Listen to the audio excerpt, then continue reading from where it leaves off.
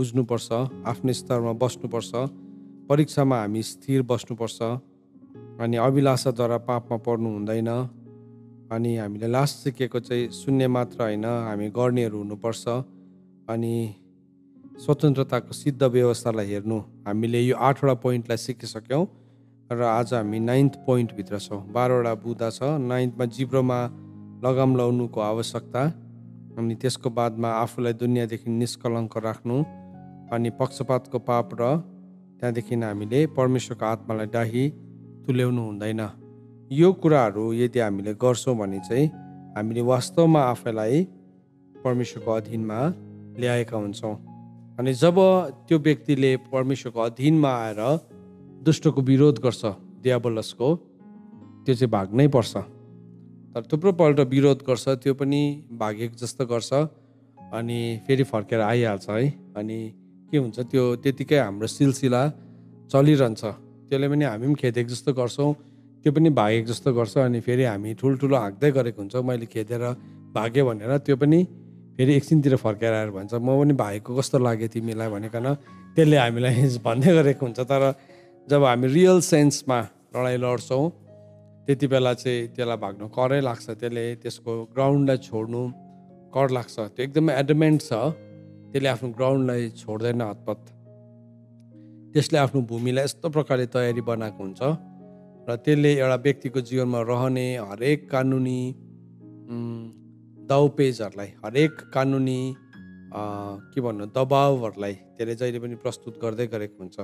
त जब हामी परमेश्वरको अधीनमा रहेर दियाबलसको विरोध गर्छौँ त्यो चाहिँ हामीबाट भाग्न कर लाग्छ। त त्यत्तिकै म प्रभुको अधीनमा छु भनेर हुँदैन रहेछ। याकुबले चाहिँ त्यो डल्लै कुरालाई हामीलाई स्ट्रक्चरली हामीलाई सिकाइदियो। कि कसरी स्टेप बाई स्टेप हामीलाई उसले सिकाएको रहेछ। अनि त्यसमा बाह्रवटा चरणहरू रहेछ जसमध्ये हामीले आठवटा कुरालाई अलरेडी सिकिसकेका छौँ। त यदि यो आठवटा कुरालाई तपाईँले अहिलेसम्म आफ्नो जीवनमा अभ्यास गर्न थाल्नु भएको छ भने तपाईँको जीवनमा शैतानको स्ट्रङ होल्डहरू भत्किँदै भत्किँदै भत्किँदै गएको तपाईँले अनुभव गर्नुहुन्छ। र यदि तपाईँले सिक्नु मात्रै भएको छ र यदि तपाईँले व्यवहारिकतामा ल्याउनु भएको छैन भने चाहिँ फेरि तपाईँले केही पनि परिणामहरू देख्नुहुन्न। अनि हाम्रो घरको डिभोसनमा हामीले अहिले मतलब डेली डिभोसनमा सिक्दै गरेको पोइन्ट चाहिँ के छ भने हामीले स्पिरिचुअल इन्टरप्रिटेसन गर्नु जान्नुपर्छ भन्ने कुरालाई सिकिरहेको थियो। यसको नेक्स्टको मेसेज पनि प्रभुले मलाई दिइराख्नु भएको थियो। अस्ति नि प्रभुले मलाई के भनिराख्नु भएको थियो भन्दाखेरि चाहिँ कसरी चाहिँ परमेश्वरको राज्यले चाहिँ जीवनको तिनटै एरियामा शरीर प्राण अनि आत्मामा कसरी चाहिँ इन्टरभिन गर्छ त्यो नेक्स्ट चाहिँ त्यो सिकाउनु भनेकन प्रभुले मलाई भनिराख्नु भएको थियो त्यसको वचनहरू पनि प्रभुले मलाई दिइराख्नु भएको थियो। अनि हाम्रो जीवनमा नि परमेश्वरको वचनमा लेखेको कुराहरू वास्तवमा घट्न सक्छ।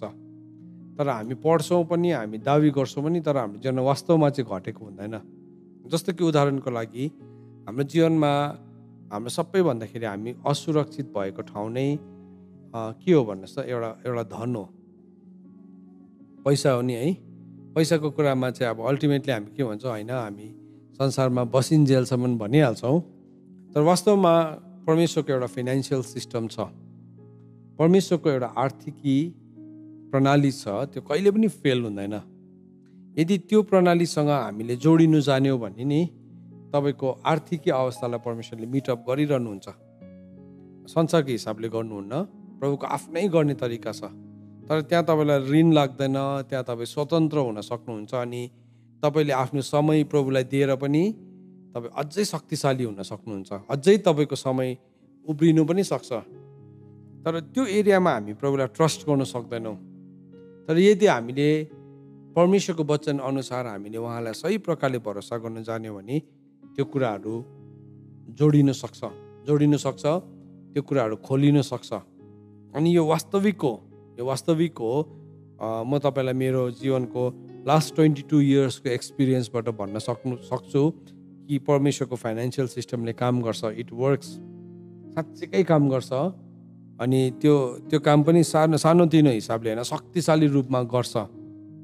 तर किन चाहिँ मान्छेको जीवनमा हुँदैन रहेछ भन्दाखेरि चाहिँ त्यो नभएको प्रणाली चाहिँ ज्ञानको कमीले गर्दाखेरि है। र त्यस्तै प्रकारले आज सिक्ने कुरा पनि त्यही हो। बाइबलले अब आज हामीले सिक सिक्दै गरेको पोइन्ट चाहिँ याकुबले भनेकोहरूमा मध्येमा जिब्रोमा लगाम लगाउनुको आवश्यकता भन्ने विषयमा उसले त्यो कुरा भनेको छ। सो आज यो पोइन्टमा हामी सिक्न गइरहेका छौँ। अस्ति हामीले सिक्दै गरेको चाहिँ हामीले स्वतन्त्रताको सिद्ध व्यवस्थालाई हेर्न सिक्नपर्छ so there is a perfect law of freedom हेर्नुहोस् ल स्वतन्त्रताको सिद्ध व्यवस्थालाई एउटा मान्छेले हेर्नु जान्यो भने नि त्यो मान्छे स्वतन्त्र हुन्छ डरदेखि अविश्वासदेखि खाँचोदेखि लालचदेखि झगडादेखि है अनि ऋणदेखि के के चाहिँ छ त्यो सबैदेखि हामी स्वतन्त्र हुन सक्छौँ अनि साँच्चै नै काम गर्छ त्यसले साँच्चै नै काम गर्छ तर हामीले नि परमेश्वरको वचनलाई साँच्चै नै पालन गर्नुपर्छ साँच्चै नै पालन गऱ्यो भने साँच्चै नै काम गर्छ। र किन चाहिँ मान्छेहरू हामी प्रभुलाई पाएर पनि हामी हाम्रो हात मुनिबाट छ? किन हाम्रो हात माथिबाट छैन? किन हामी अभावमा छौँ? किन हामी प्रस्तुततामा छैनौँ? किन हामी डरमा छौँ? किन हामी विश्वासमा छैनौँ भन्दाखेरि चाहिँ हामीले स्वतन्त्रताको सिद्ध व्यवस्थालाई हेर्नु जानेको हुँदैनौँ। त जब जुन मान्छेले हेर्छ बाइबलले अस्ति हामीले सिकेको कुरा चाहिँ हामी हेर्ने मात्रै होइन तर त्यसमा लागि पनि रहनु जरुरी छ। याकुबको किताब एक अध्यायको पच्चिसबाट अस्ति हामीले सिक्यौँ। सो त्यो कुरालाई अस्ति सिकेको कुरा चाहिँ कतिजनाले हेर्छ तर त्यसमा लागेर बसिरहनु नजानेको कारणले गर्दाखेरि फेरि त्यहाँबाट निस्किहाल्छ। त्यहाँदेखि फेरि ऊ त्यही संसारको कसमसको चक्रव्यूहमा पर्छ। है खाँचो आपूर्ति खाँचो आपूर्ति खाँचो आपूर्तिको नियमभित्र पस्छ। अनि त्यो खाँचो र आपूर्तिको नियमभित्र पसेपछि उसको समयहरू पनि सबै त्यही कुराहरू गर्नमा खर्च हुँदै गरेको हुन्छ। तर जब उसले स्वतन्त्रताको सिद्ध व्यवस्थालाई हेर्छ त्यहाँदेखि चाहिँ ऊ खाँचो र आपूर्तिको नियमदेखि ऊ बाहिर निस्किन्छ अनि उसको जीवनमा त्यो भन्दाखेरि ठुलो त्यो भन्दाखेरि शक्तिशाली कार्यहरू प्रभुले गर्न सक्नुहुन्छ। यो कुरालाई अस्ति हामीले सिकिसकेका छौँ। यो कुरालाई अब आउनेवाला डेली डिभोसनको लेसन्सहरूमा पनि हामी जब हामीले स्पिरिचुअल इन्टरप्रिटेसनको पार्टलाई सकिसकेका हुन्छौँ त्यति बेला हामी यो कुरालाई हेर्न गइरहेका छौँ हामी सिक्न गइरहेका छौँ। सो आज हामी अनलाइन प्रेयरमा छौँ र हामीले हाम्रो प्रार्थनाको विषय चाहिँ के छ भने हामी खडा हुनलाई आमार्ट भन्ने कुरालाई आमार्टको पोइन्टभित्र हामीले बिसवटा बुदाहरू छ त्यो बुदालाई आज हामी प्रार्थना गर्छौँ। हाम्रो जीवनमा व्यवहारिकतामा त्यो प्रार्थनाको कुराहरू लागु होस् भनिकन तर आज हामीले हेर्ने विषय चाहिँ आफ्नो जिब्रोमा लगाम लगाउनु भन्ने विषयमा। सो प्रभुको अधीनमा आउनु भनेको चाहिँ हाम्रो जिब्रोलाई लगाम पनि लगाउनु पर्ने रहेछ। त यो विषयलाई हामी सिक्छौँ। आउनुहोस् हामीहरू यति बेला प्रार्थना गर्नेछौँ। प्रभु धन्यवाद। तपाईँले आफ्नो वचन हामीलाई दिनुभएको लागि तपाईँले आफ्नो वचन हामीमा पठाउनुहुन्छ अनि तपाईँले जुन कामको लागि पठाउनुहुन्छ त्यो काम चाहिँ तपाईँको वचनले गर्छ पुरा गर्छ। प्रभु आज हामी जसै यो वचनलाई सिक्दैछौँ प्रभु यो वचनलाई जसै हामी प्रभु व्यवहारिकतामा सिक्दै गर्दाखेरि चाहिँ यो वचन चाहिँ हाम्रो जीवनमा क्रियाशील भएको होस् प्रभु। धन्यवाद। प्रभु तपाईँको वचन अनुसार हामी कसरी आफ्नो जिब्रोलाई लगाम लगाउनु भन्ने कुरालाई आज सिक्छौँ। यो सिक्दै गर्दाखेरि चाहिँ हाम्रो चञ्चल हाम्रो बसमा नरहने प्रभु यो बदमास जिब्रोलाई हामीले अधीनमा लाउँदै गर्दाखेरि चाहिँ हामीले प्रभु आफैलाई तपाईँको अधीनमा ल्याउँदो रहेछौँ। अनि प्रभु त्यति बेला जब हामी यो जिब्रोबाट दुष्टलाई विरोध गर्छौँ त्यो चाहिँ हामीबाट भाग्न करै लाग्छ प्रभु। अनि म आज यो प्रार्थना गर्छु प्रभु यो वचनलाई सिकिकन हामी हरेकले आफ्नो जिब्रोलाई लगाम लगाउन सकौँ। अनि जब हामी दियाबलसको विरोध गर्छ त्यो चाहिँ भागेको होस् हाम्रो परिवार हाम्रो घराना हाम्रो मण्डली हाम्रो प्रभु समाजबाट प्रभु हाम्रो हाम्रो पारिवारिक वेदीबाट माण्डलिक वेदीबाट व्यक्तिगत वेदीबाट त्यो चाहिँ भागेर गएको होस् भनिकन हामी प्रार्थना गर्छौँ। त्यसको जति पनि लिगल प्रभु डिमान्ड्सहरू छ त्यसको जति पनि कानुनी मागहरू छ कानुनी अधिकारहरू छ त्यो चाहिँ आज भत्केको होस् भनिकन हामी प्रार्थना गर्छौँ। धन्यवाद प्रभु। अब यो वचनलाई सिक्दैछौँ धर्मशास्त्र बुझ्नको निम्ति हाम्रो समझलाई खोलिदिनुहोस् प्रभु। अनि प्रभु यो बोलेको एक एकवटा शब्दले चाहिँ मानिसहरूको हृदयलाई अनि मानिसको जीवनलाई परि परिवर्तन गरेको होस्। धन्यवाद। सबै बिन्ती माग्छु पुत्र यीशु ख्रिस्टको जिउँदो अनि पवित्र नाउँले। आमेन। हुन्छ। हामी याकुबको किताब एक अध्यायमा छौँ। याकुबको किताब एक अध्यायको छब्बिस पदलाई हामी सिक्छौँ। याकुब एकको छब्बिस पद। याकुब एकको छब्बिस पदलाई हामी पढ्छौँ अनि त्यसको बादमा हामी याकुब तिनको एकदेखि लिएर बाह्र पदसम्म हामी पढ्छौँ। सो सबैले भेटाउनु भयो भने म पढ्नु पऱ्यो तपाईँहरूले खोल्नुहोस् अनि हामी हेर्छौँ। यहाँ भन्दैछ यदि कोही मानिसले आफूलाई धर्मी सम्झन्छ र आफ्नो जिब्रोमा लगाम लगाउँदैन तर आफ्नो हृदयलाई धोका दिन्छ भने त्यस मानिसको धर्म व्यर्थ हुन्छ। सो परमेश्वरको वचनले हामीलाई यहाँ के भन्दैछ भने हामी आफैलाई धर्मी सम्झिन्छौँ र आफ्नो जिब्रोमा चाहिँ हामी लगाम लगाउँदैनौँ। जिब्रोमा लगाम लगाउनु भन्ने कुरालाई वचनले हामीलाई सिकाएको छ। कति इम्पोर्टेन्ट रहेछ हेर्नुहोस् है। हाम्रो जिब्रोमा हामीले लगाम लगाउनु हाम्रो जि जिब्रोलाई हामीले कन्ट्रोल गर्नु सिक्नु कति महत्त्वपूर्ण रहेछ। किन भन्दाखेरि चाहिँ किनभने यदि हामी लगाउँदैनौँ भने चाहिँ हाम्रो हृदयलाई धोका दिन्छौँ। अनि के हुन्छ अरे त्यस मानिसको धर्म व्यर्थ हुन्छ। अब यो जिब्रो चाहिँ यस्तो चिज हो जुन चाहिँ जिब्रोले चाहिँ हामी प्रभुको प्रशंसा पनि गर्छौँ फेरि। यही जिब्रोले यही जिब्रोको फल ओठको फलले चाहिँ बाइबलले भनेको छ त्यो चाहिँ परमेश्वरको अगाडि चढाउने प्रशंसा हो। हिब्रूको किताब तेह्रको पन्ध्रले भन्छ कि हामी सधैँ नै हाम्रो प्रशंसा जो चाहिँ हाम्रो ओठको फल हो त्यो प्रशंसाद्वारा चाहिँ हामी परमेश्वरलाई स्वीकार गरिरहँ भनेकन एक्नोलेज गरिरहँ भनेकन परमेश्वरको वचनले भन्दछ। सो यो जिब्रो चाहिँ त्यो कारणले गर्दाखेरि हामीलाई दिएको हो कि हामी प्रभुलाई प्रशंसा गरिरहँ। यो जिब्रोबाट चाहिँ प्रभुको महिमा भइरहोस् भनेकन। अनि जब हामीले यो जिब्रोमा सधैँ नै प्रभुको प्रशंसा राख्छौँ यो जिब्रो चाहिँ एउटा शक्तिशाली हतियार बनिन्छ। शक्तिशाली हतियार बनिन्छ अनि यो हतियार चाहिँ दुष्टको किल्लालाई भत्काउन सैतानको कामहरूलाई नाश गर्नको लागि यो जिब्रो एकदमै एकदमै के भन्नु उपयोगी हुन्छ। अब प्रविश्व ख्रिस्टको बा बारेमा जब यसयाले गवाई दिएको छ अस्ति हामीले यो कुरालाई हेर्दै थियौँ यसयाको किताब पचास अध्यायमा अघि हामीलाई आराधना गर्ने हाम्रो प्रभुको दासले पनि यो कुरालाई कोट गरिरहेको थियो। पचास अध्यायको चार पद हेर्नु सबैजनाले यसयाको किताब पचास अध्यायको चार पदलाई हेर्नुहोस्। चार अनि चार पाँच पदलाई हामीले हेऱ्यो भने प्रभुको प्रभुको आफ्नै कन्फेसन पर्सनल कन्फेसन यहाँ लेखेको छ। यहाँ के भनेर लेखेको छ भन्दाखेरि थाकेकोलाई वचनले कसरी बल दिनुपर्ने हो? सो जान्न सकु भनेर परमप्रभुले मलाई सिक्नेहरूको बोली दिनुभएको छ। उहाँले मलाई बिहानै पछि जगाउनुहुन्छ र सिक्नेहरूलाई चाहिँ सुन्न मेरो कान खोलिदिनुहुन्छ। परमप्रभु परमेश्वरले मेरो कान खोल्नु भएको छ र म बाघी भएन औ पछि पनि हटिन। सो प्रभु ख्रिस्टको टेस्टिमनीलाई हामी यहाँ देख्दैछौँ। ख्रिस्टको गवाईलाई हामी देख्दैछौँ कि थाकेकोलाई चाहिँ वचनले कसरी बल दिनु त्यो जान्न सकु भनेर चाहिँ प्रभुले चाहिँ मलाई सिक्नेहरूको बोली दिनु भएको छ। त्यो सिक्नेको बोली चाहिँ कहाँबाट सुरु हुन्छ भन्दाखेरि चाहिँ त्यो चाहिँ जहिले पनि जिब्रोबाट सुरु हुन्छ। त यो जिब्रोलाई चाहिँ हामीले परमेश्वरको कुरा सिक्नको लागि हामीले तालिम दिन्छौँ। परमेश्वरको कुरा भन्नको लागि हामीले तालिम दिन्छौँ। प्रभुको वचनले चाहिँ के भन्छ?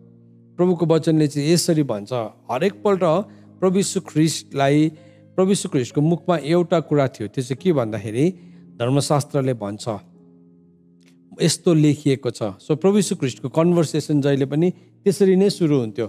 धर्मशास्त्रले भनेअनुसार तिम्रो अन्तस्करणबाट जीवनको खोलाहरू बगेर निस्किन्छ। वचनमा लेखिएको छ तैँले मानिस रोटीले मात्र होइन तर परमेश्वरको मुखबाट निस्केको हरेक वचनले बाँच्दछ सो प्रभु ख्रिस्टसँग जति पनि कन्भर्सेसन जोसुकैले पनि गर्थ्यो प्रभुले कहिले पनि त्यो कन्भर्सेसनलाई चाहिँ त्यो बातचितलाई चाहिँ आफ्नो विचारले भन्नुहुन्न थियो तर उहाँले के गर्नुहुन्थ्यो? जहिले पनि धर्मशास्त्रले त यसरी भन्छ। है मेरो विचार ठुलो होइन तर धर्मशास्त्रले परमेश्वरको वचनले त यसरी भन्छ। जब पनि हामीले नि आफैलाई त्यो ठाउँमा त्यसरी तालिम दिँदो रहेछौँ नि तब त्यो तालिमले चाहिँ के गर्दो रहेछ भन्दाखेरि चाहिँ त्यसले चाहिँ थाकेकोहरूलाई पनि बल दिँदो रहेछ परमेश्वरको वचनबाट। थाकेका हुन्छन् कतिजना मान्छेहरू तर हामी परमेश्वरको वचनद्वारा बल दिन्छौँ हामी मान्छेलाई भन्छ ओ प्रभुको आनन्द त तिम्रो बल हो। हेर्नुहोस् तपाईँ आज यो परिस्थितिबाट जानुहुँदैछ तर वचनले चाहिँ भन्छ तिमीले यीशु ख्रिस्टसँग कष्ट भोग्छौ भने तिमी यीशु ख्रिस्टसँग महिमित हुन्छौ। है वचनले भन्छ यीशु ख्रिस्टसँग मरेका छौ भने यीशु ख्रिस्टसँग बिउतिन्छौ वचनले भन्छ यीशु ख्रिस्टसँग ध धार्मिकताको जीवन जिउने सबैजना नै खेदमा पर्छ। वचनले भन्छ यीशु ख्रिस्टसँग हामी कष्ट भोग्छौँ भने उहाँसँग राज्य गर्छ। सो के भयो? हरेकपल्ट हामीले त्यो वचन बोल्दै गर्दाखेरि चाहिँ त्यो वचन चाहिँ के भएर जाँदो रहेछ भन्दाखेरि चाहिँ त्यो चाहिँ एउटा एउटा सामर्थ्य भएर जाँदो रहेछ। त्यो चाहिँ एउटा बल भएर जाँदो रहेछ। र दानियलले पनि जब प्रार्थना गर्दै थियो दानियलले प्रार्थना गर्दै गर्दाखेरि स्वर्गदूतले आएर दानियललाई गवाई दिएको छ। दानियलको किताब दस अध्यायमा अनि नौ अध्यायमा हामीले हेऱ्यो भने दानियललाई के भनेको छ भने दानियल तिमी चाहिँ यस्तो प्रिय मान्छे हो अनि जब तिमीले प्रार्थना गर्दै थियौ तब तिम्रो मुखबाट एउटा वचन निस्क्यो। होइन? सो जब तिमीले प्रार्थना गर्दै थियौ तिमीले प्रार्थना गर्दै गर्दाखेरि एउटा वचन निस्क्यो अनि त्यो वचनको अर्थ म तिमीलाई दिनलाई आएको छु। सो दानियलले चाहिँ जब प्रार्थना गर्दै थियो उसले उसको मुखबाट एउटा वचन निस्केछ। दानियलको किताब नौ अध्यायको तेइस पदमा लेखेको छ। हेर्नुहोस् त सबैजनाले। दानियलको किताब नौ अध्यायको तेइस पदमा। सो जब दानियलले प्रार्थना गर्दै थियो दानियलको मुखबाट चाहिँ एउटा वचन निस्क्यो। एउटा वचन निस्क्यो। सो जब हामीले नि हाम्रो ओठलाई तालिम दिन्छ नि तब यस्तो हुन्छ कि हाम्रो जिब्रोलाई तालिम दिएपछि चाहिँ तपाईँले प्रार्थना गर्दा गर्दा गर्दा गर्दा गर्दा खालि प्रभुको वचन मात्रै निस्किन थाल्छ। वचन निस्किन्छ अनि त्यो वचन चाहिँ एउटा अख्तियार भइकन स्वर्गीय स्थानहरूमा चाहिँ क्रियाशील हुँदो रहेछ। क्रियाशील हुँदो रहेछ। अब अस्ति हामीले एउटा कुरालाई सिक्दै थियौँ हामी माथिको आकाशमा एउटा अन्धकारको शक्ति छ। एउटा एउटा शक्ति छ त्यो शक्तिले चाहिँ कार्य गरिरहेको छ। बाइबलले भनेको छ कि इफिसीको किताब दुई अध्यायको दुई पदमा कि आकाशको शक्तिको मालिकले चाहिँ अहिले पनि अनआज्ञाकारिताको सन्तानहरूमा काम गरिरहेको छ।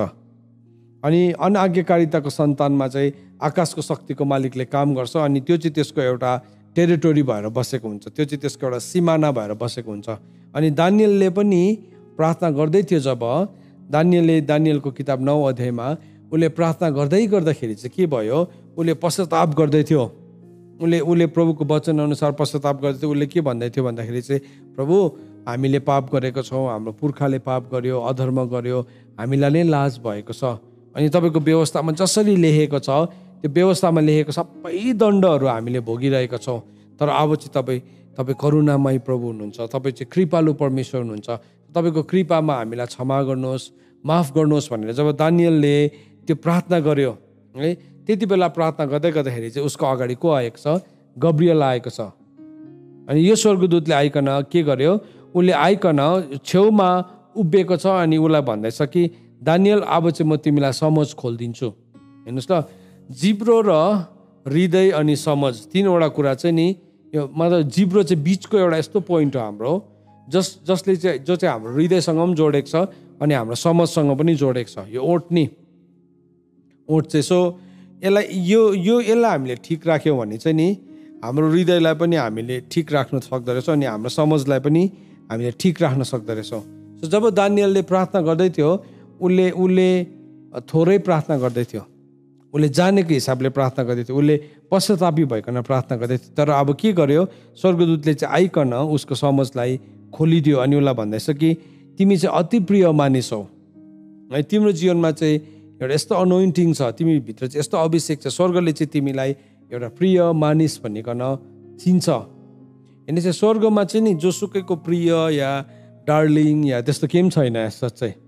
तर स्वर्गमा चाहिँ कसलाई प्रिय भनेर चिन्छ भन्दाखेरि चाहिँ बाइबलमा भनेको छ जुन चाहिँ मान्छे चाहिँ जसले चाहिँ आफ्नो हृदयभित्रको साँचो खतना गरेको छ ट्रु ट्रु के भन्नु सर्कम सिजन गरेको छ। रोमीको किताब दुई अध्यायको अठाइस पदमा यो कुरालाई लेखेको छ। एकैछिन तपाईँले हेर्नुहोस् मसँग। रोमीको किताब दुई अध्यायको अठाइस पदमा के भनेर लेखेको छ भन्दाखेरि चाहिँ यो पनि म पढिदिन्छु।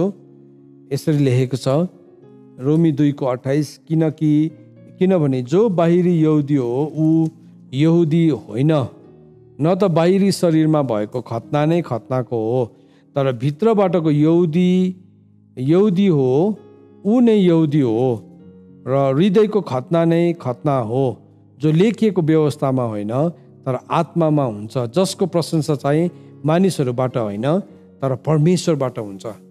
सो दानियललाई चाहिँ स्वर्गदूतले के भनौँ भनौँ भनेर चाहिँ त्यत्तिकै ओके तिमी चाहिँ प्रिय मान्छे हो भनेको होइन। है प्रिय मित्र भनेर चिठी लेखेको होइन।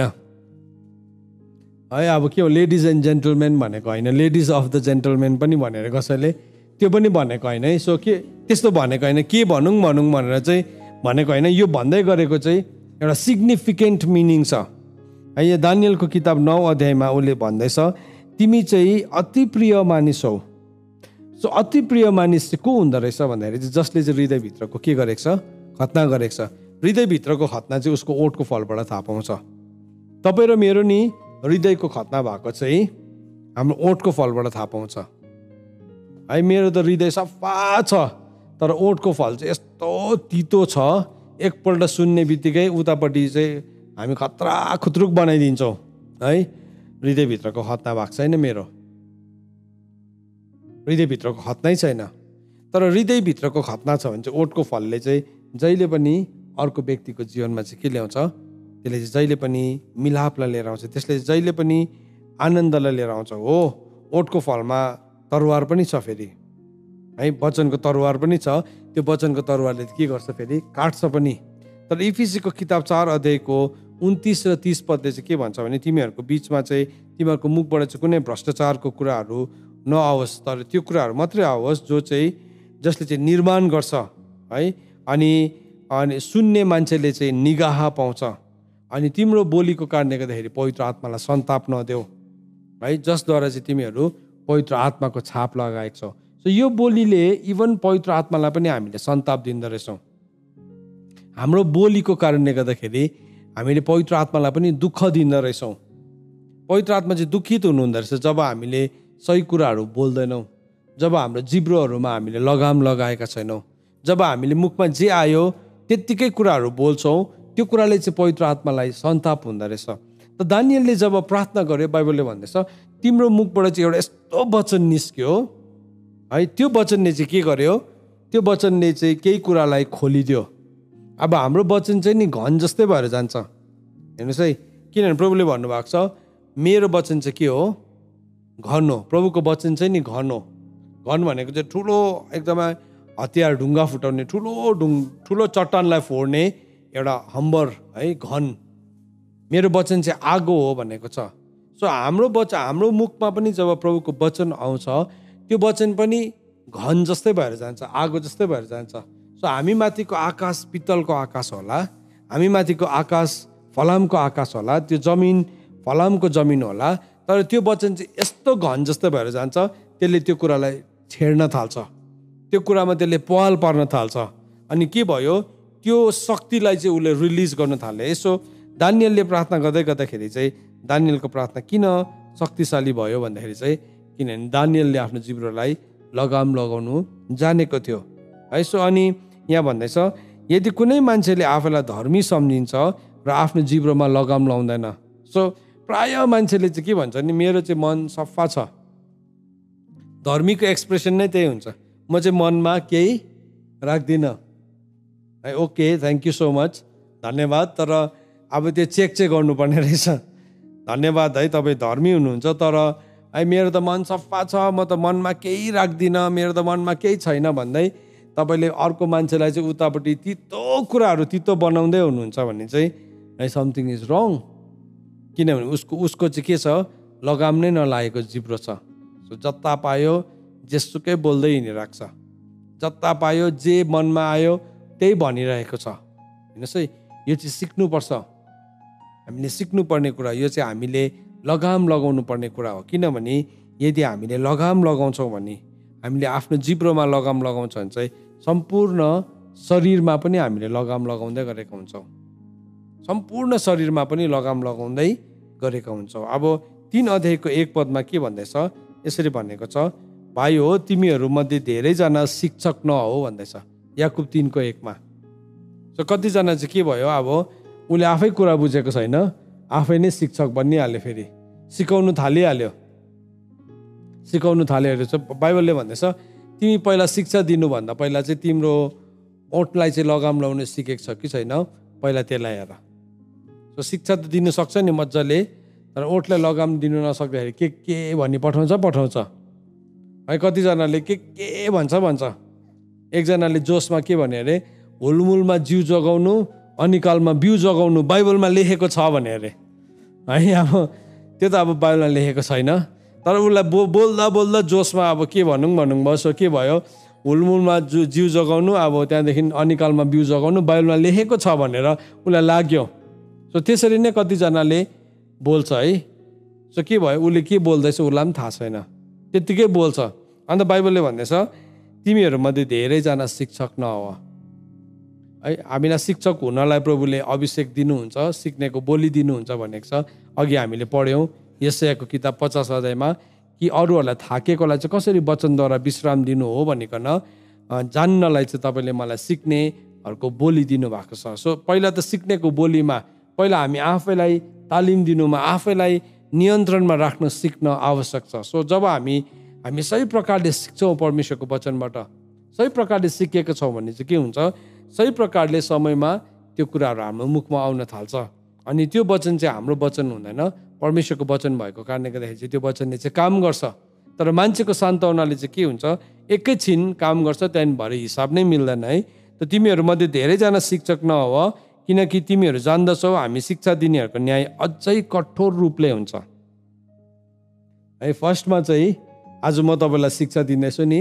फर्स्टमा चाहिँ मेरो न्याय हुन्छ भयङ्कर डरलाग्दो। भयङ्कर डरलाग्दो तैँले त सिकाएको हो तैँले त भनेको हो तैँले त अरूलाई भनेको के भयो? के भयो? सो अब त्यस कारणले गर्दाखेरि म होसियार हुनुपर्छ। है यो कुरामा होसियार हुनुपर्छ। तिमीहरूको बोली हो भने हो होइन भने होइन। यदि परमेश्वरको वचनले हो भनेको छ भने चाहिँ हो होइन भने चाहिँ होइन। कोही कोही बेला हामीले माया गरेको मान्छेहरू हुन्छ नि वरिपरि। अनि उनीहरू जीवनमा माथि आउने कोसिस गर्दै गरेको हुन्छ। अनि उनीहरूले गर्दै गरेको कतिवटा गल्ती भुलहरू पनि हामी नजरअन्दाज गरी पठाउँछौँ। हामी नजरअन्दाज गरी पठाउँछौँ हामी मान्छेलाई अनुहार हेरी हेरी इन्साफ गर्छौँ।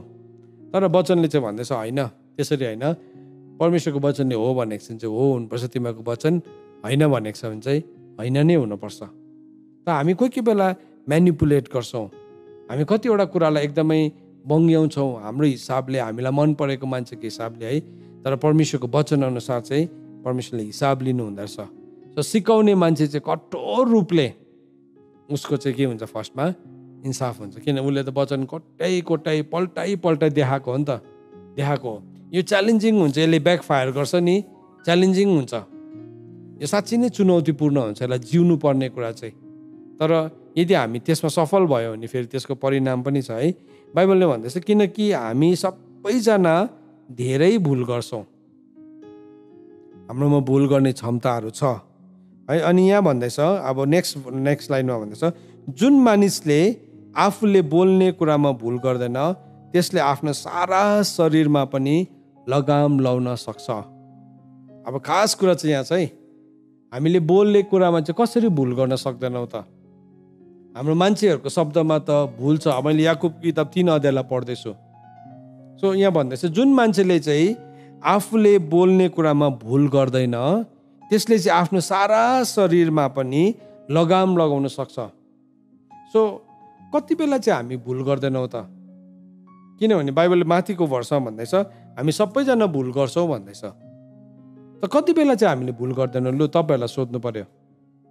कति बेला चाहिँ हामीले बोलेको वचनमा चाहिँ भुल गर्दैनौँ? तपाईँहरूको विचारमा। हजुर? जति बेला चाहिँ त्यो वचन चाहिँ हाम्रो वचन होइन एउटा स्ट्यान्डर्ड वचन हुन्छ। अथवा परमेश्वरको वचन हो। किन परमेश्वरको वचन चाहिँ कहिले पनि भुल गर्दैन। प्रभुले आफ्नो वचन चाहिँ आफ्नो सबै नाउँहरूभन्दा पनि माथि राख्नु भएको छ। है प्रभु दयालु हुनुहुन्छ नि। तर प्रभुको दयालु नाउँ भन्दाखेरि माथि पनि के छ? प्रभुको माथि वचन छ। सो प्रभुले त दया नै गर्न चाहनुहुन्छ हामीलाई। तर प्रभुको वचन माथि भएको कारणले गर्दाखेरि के गर्नुहुन्छ? प्रभुले दया गर्दै गर्दाखेरि पनि प्रभुले होसियारीसँगै दया गर्नुहुन्छ है? प्रभुले हामीलाई क्षमा गर्न चाहनुहुन्छ। त्यो क्षमा गर्नको लागि तेरो तेरो पाप क्षमा पनि भन्न सक्नुहुन्थ्यो प्रभुले। तर उहाँले आफ्नो पुत्रलाई पापको मूल्य चुकाउन पठाउनु भयो। त्यहाँदेखि चाहिँ प्रभुले के भन्नुभयो? यदि कसैले उहाँको बलिदानमाथि यीशु ख्रिस्टलाई विश्वास गर्छ भने चाहिँ ऊ चाहिँ ऊ चाहिँ मृत्युदेखि इन्साफ इन्साफदेखि चाहिँ अथवा मृत्युदेखि चाहिँ सरिसकेको हुन्छ। उसलाई इन्साफ हुँदैन। किन? किनभने उसले पुत्रलाई विश्वास गर्यो। त त्यो विश्वास गर्नु भन्ने कुरा चाहिँ अन डेली बेसिस हामी गरिरहँदैछौँ है। हरेक दिन गरिरहनु पर्ने हुन्छ। सानो सानो कुरामा पनि गरिरहनु पर्ने हुन्छ। सो हामी चाहिँ कति बेला चाहिँ भुल गर्दैन रहेछौँ भन्दाखेरि चाहिँ नि जब हाम्रो हरेक कुरा चाहिँ परमेश्वरको वचनबाट लेखिएको हुन्छ। हेर्नुहोस् है। अब परमेश्वरले जब व्यवस्था दिनुभयो नि व्यवस्था दुईवटा हिस्सामा बाँटेको छ। दुईवटा भागमा एउटा ग्रेट ल भनेको छ। ग्रेट ग्रेटेस्ट कमान्डमेन्ट भनेको छ। सो ग्रेटेस्ट कमान्डमेन्ट हामीले कहाँ भेटाउँछौँ? हे इजरायल सुन। व्यवस्थाको किताब छ अध्यायको चार पदमा भनेको छ हे इजरायल सुन परमप्रभु परमेश्वर एक हुनुहुन्छ। तिमीहरूले परमप्रभु आफ्नो परमेश्वरलाई आफ्नो सारा हृदयले आफ्नो सारा समझले आफ्नो सारा शक्तिले प्रेम गर। सो त्यो चाहिँ के हो? सबै भन्दाखेरि महान आज्ञा हो। महान आज्ञा हो अनि त्यहाँदेखि अर्को पनि त्यस्तै छ। त्यो चाहिँ के हो? आफ्नो छिमेकीलाई आफूलाई जस्तै प्रेम गर सो परमेश्वरलाई प्रेम गर्नु आफ्नो छिमेकीलाई प्रेम गर्नु चाहिँ महान आज्ञाभित्र आउँछ। महान आज्ञाभित्र आउँछ। तर सानोतिनो आज्ञाहरू पनि छ। सानोतिनो आज्ञाहरू पनि छ। अब सानोतिनो आज्ञाभित्रमा चाहिँ नि हामीलाई प्रभुले हरेक कुरा सिकाउनु भएको छ। हरेक कुरा। बाइबलमा नि यसरी सिकाएको छ हामीलाई। तिमीले घर बनाउने बित्तिकै पहिला प्यारापेट बनाउनु भनेर सिकाएको छ। घर बनाउने बित्तिकै घरको वरिपरि तिमीले बार लगाइहाल्नु। प्यारापेट बनाउनु किनभने यदि कुनै मान्छे त्यो त्यो प्यारापेट प्यारापेट नभएको कारणले गर्दाखेरि झऱ्यो भने चाहिँ त्यो घरलाई रगतको दोष लाग्छ। प्यारापेट हुँदा हुँदा पनि झऱ्यो भने त त्यो घरलाई रगतको दोष लाग्दैन। तर यदि प्यारापेट बनाएको छैन र कुनै मान्छे झऱ्यो भने चाहिँ त्यो घरलाई केसको दोष लाग्छ? रगतको दोष लाग्छ। अब मेरै घर हो प्रभु यति साह्रो त छैन होला नि त कुन चाहिँ अल्ट्राटेक सिमेन्ट चलाउनु कि अर्को कुन चाहिँ बिर्ला गोल्ड चलाउनु कि भन्छ कि भन्दैन। त्यसरी भन्नुहुन्न तर प्रभुले प्यारापेट चाहिँ बना भनेको छ। होइन चाहिँ त्यो घरलाई रगतको दोष लाग्छ। अब त्यो घरलाई पनि रगतको दोष लाग्दो रहेछ। यो त सानो व्यवस्था हो नि।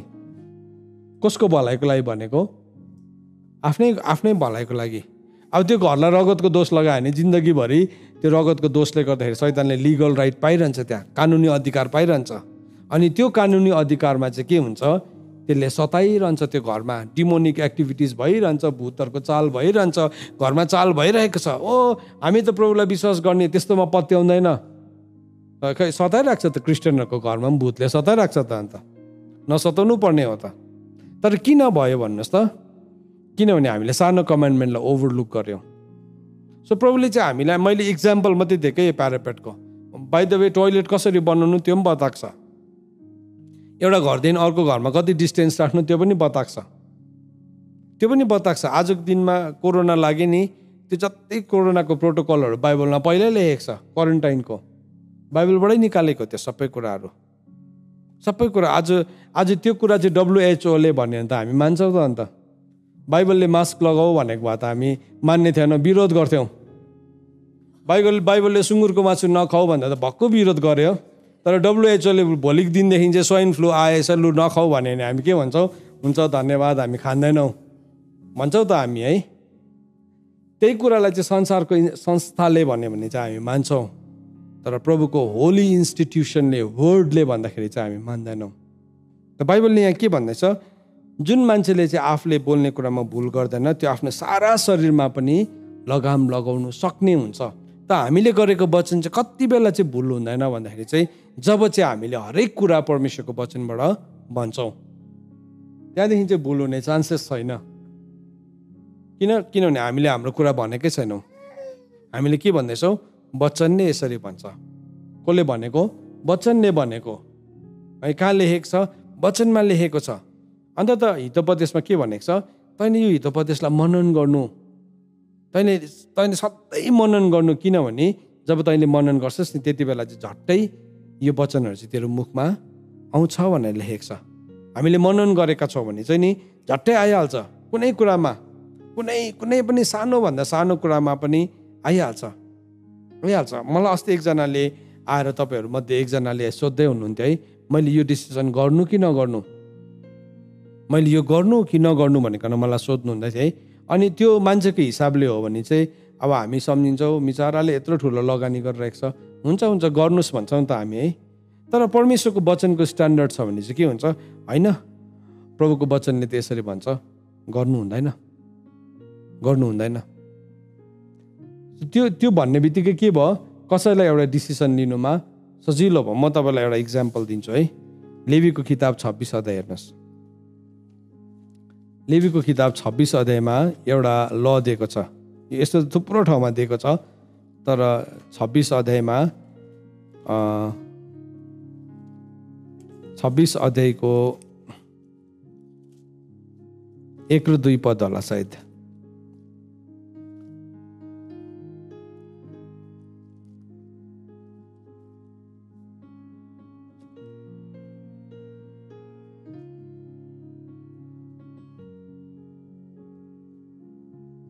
त्यहाँ के भनेको छ भने नि ओके दुई पदमा रहेछ। एक र दुई पद दुइटै पढ्छु। तिमीहरूले आफ्नो निम्ति मूर्तिहरू नबनाऊ। आफ्नो निम्ति कुनै खोपिएको मूर्ति वा खाँबो खडा नगर र खोपिएका ढुङ्गाहरू आफ्नो देशमा उठा ठडाएर ती पुज्नलाई घोप्टो नपर। किनकि म परमप्रभु तिमीहरूका परमेश्वर हुँ। तिमीहरूले विश्राम दिनहरू पालन गर र मेरो पवित्र स्थानको आदर गर। सो अस्ति एउटा कन्स्ट्रक्सनको विषयमा कसैले मलाई प्रश्न सोध्दै हुनुहुन्थ्यो। यो ठाउँमा पहिला हाम्रो वेदी थियो तर यो वेदी भएको ठाउँमा चाहिँ अब अहिले कन्स्ट्रक्सनको हिसाबले चाहिँ हामीले अर्कै एउटा शौचालय बनाउनु पर्नेछ। सो के सही हो यो भनिकन सोध्नु भयो। सो अब हामीले परमेश्वरको वचन थाहा छैन भने त अब तपाईँले वेदीलाई माथि तला सार्नु हुँदो रहेछ। त्यो त सही हो नि केही पनि हुँदैन भनिकन हामी भन्छौँ। एउटा सिधा अन्डरस्ट्यान्डिङमा चाहिँ। तर प्रभुको वचनले चाहिँ भनेको रहेछ तिमीहरूले मेरो पवित्र स्थानको के गर्नु? आदर गर्नु। अब प्रभुको वचन चाहिँ माथि आइहाल्यो नि त। यसमा चाहिँ मैले अब मान्छे हेरी हेरी अर्कोलाई चाहिँ नगर्नुहोस् अर्कोलाई चाहिँ गर्नुहोस् भन्यो भने चाहिँ के भयो? दुईवटा कुरा भयो। तर प्रभुको वचनले चाहिँ हामीलाई भनेको छ तिमीले पवित्र स्थानको पनि आदर गर। आदर गर। प्रभुले भन्नुभएको यो। अब यो के भयो? स्ट्यान्डर्ड इक्वल भयो। सबैको लागि के भयो? सामान्य भयो। अर्को पालि तपाईँलाई कसैले त्यस्तो सल्लाह लिनु आयो?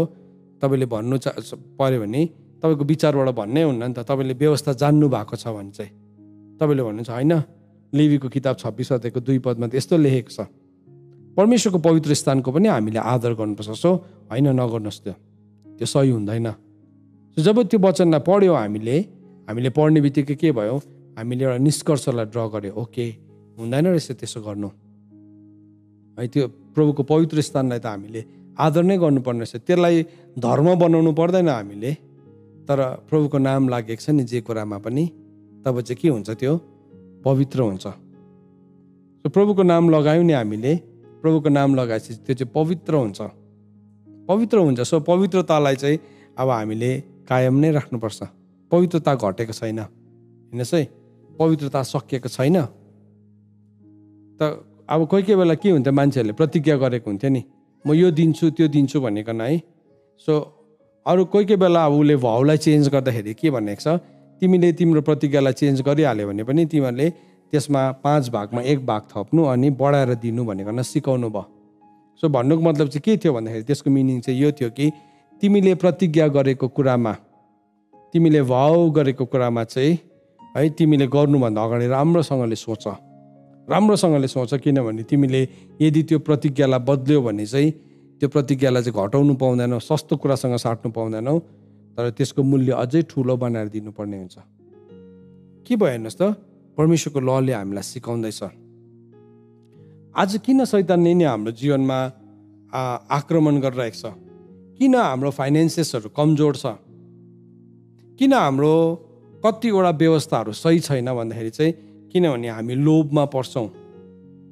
हामीले प्रभुलाई भनेको हुन्छौँ प्रभु यो दिन्छु म। यो दिन्छु तर जब दिने बेला आउँछ प्रभुलाई दिन्छु भनेको त अलिक ठुलो रहेछ गतिलो रहेछ चिल्लो रहेछ होइन?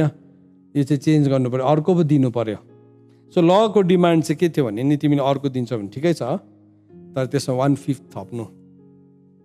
त्यसको अझै पाँचौँ भाग थपेर ठुलो बनाएर दिनु। सो त्यो चाहिँ किन भनेको भन्दाखेरि चाहिँ तिमीले पहिल्यै डिसाइड गर है दिनुभन्दा अगाडि। त्यसले गर्दाखेरि बोल्नुमा हतार नगर भनेको नि त त्यो भनेको चाहिँ। बोल्नुमा हतार नगर। परमेश्वरको वचनले कति सजिलोसँगले सफासँगले प्रभुको कुराहरू हामीलाई सिकाएको छ। सो जुन चाहिँ मान्छेले चाहिँ नि आफ्नो कुरामा भुल गर्दैन त्यसले चाहिँ आफ्नो सारा शरीरमा पनि लगाम कस्न सक्छ। हेर्नुहोस् यो सिक्नुपर्छ हामीले। यदि हामीले हाम्रो शरीरमा लगाम कस्नु हो भने चाहिँ हामीले हरेक कुरामा चाहिँ वचनमा चाहिँ हामी पुरा हुनुपर्छ। बाइबलमा के भनेको छ? ख्रिस्टको वचनले तिमीहरूमा प्रशस्तसँग के गरोस्? बास गरोस्। हेर्नुहोस् है हामीभित्र चाहिँ नि ख्रिस्टको वचनले मलाई त्यो रेफरेन्स कसैले भेट्यो भने भनिदिनुहोस् ल। ख्रिस्टको वचनले चाहिँ हामीमा प्रशस्तसँगले बास गर्नुपर्छ। हरेक एरियामा एभ्री एरियामा चाहिँ नि ख्रिस्टको वचनले चाहिँ हामीमा प्रशस्तसँग बास गर्नुपर्छ। अनि यो चाहिँ परमेश्वरको वचनको कमान्ड हो। कलसी तिनको सोह्र पदमा लेखेको छ। हेर्नुहोस् त एकपल्ट पढौँ हामी यो यो वचनलाई। कलसी तिनको सोह्र पद सबैले हेर्नुहोस्। लेख्नुहोस् ल यो नोट्सलाई लेख्नुहोस् यो तपाईँले याद गर्नुहोस्। यो कुरालाई हाम्रो हृदयमा राखौँ।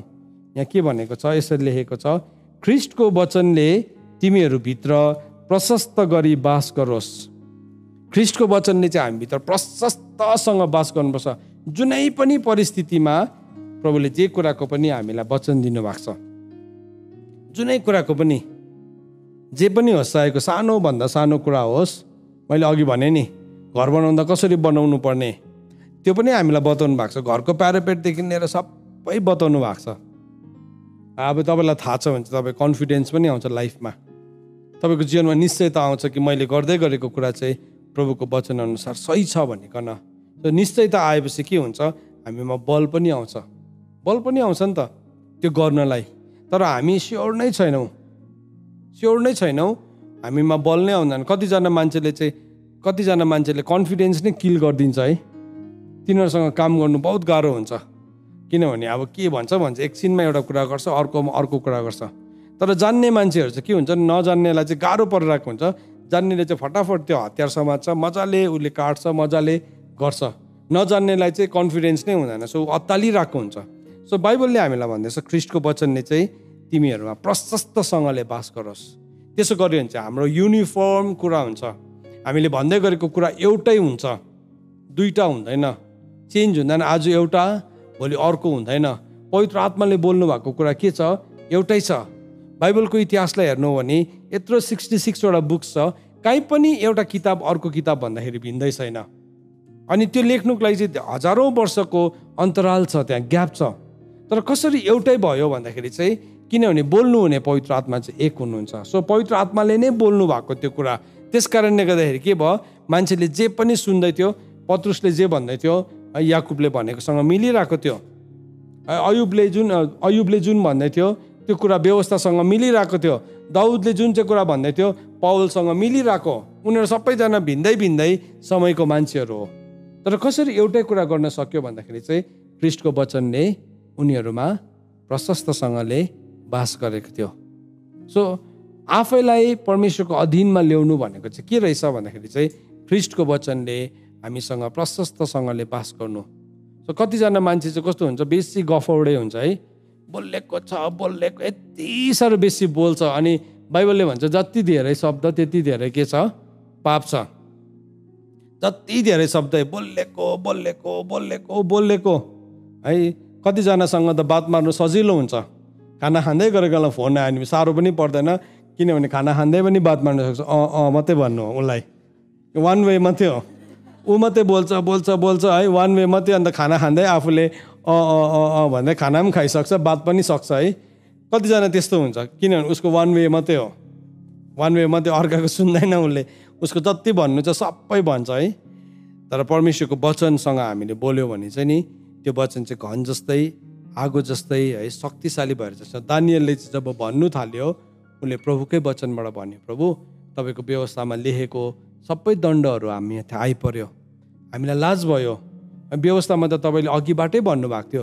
तिमीहरूले यो गरेनौ भने तिमीलाई यस्तो हुन्छ। प्रभु तपाईँले भन्नुभएकै कुरा भयो। त्यो प्रार्थना यति साह्रो शक्तिशाली भएर गयो।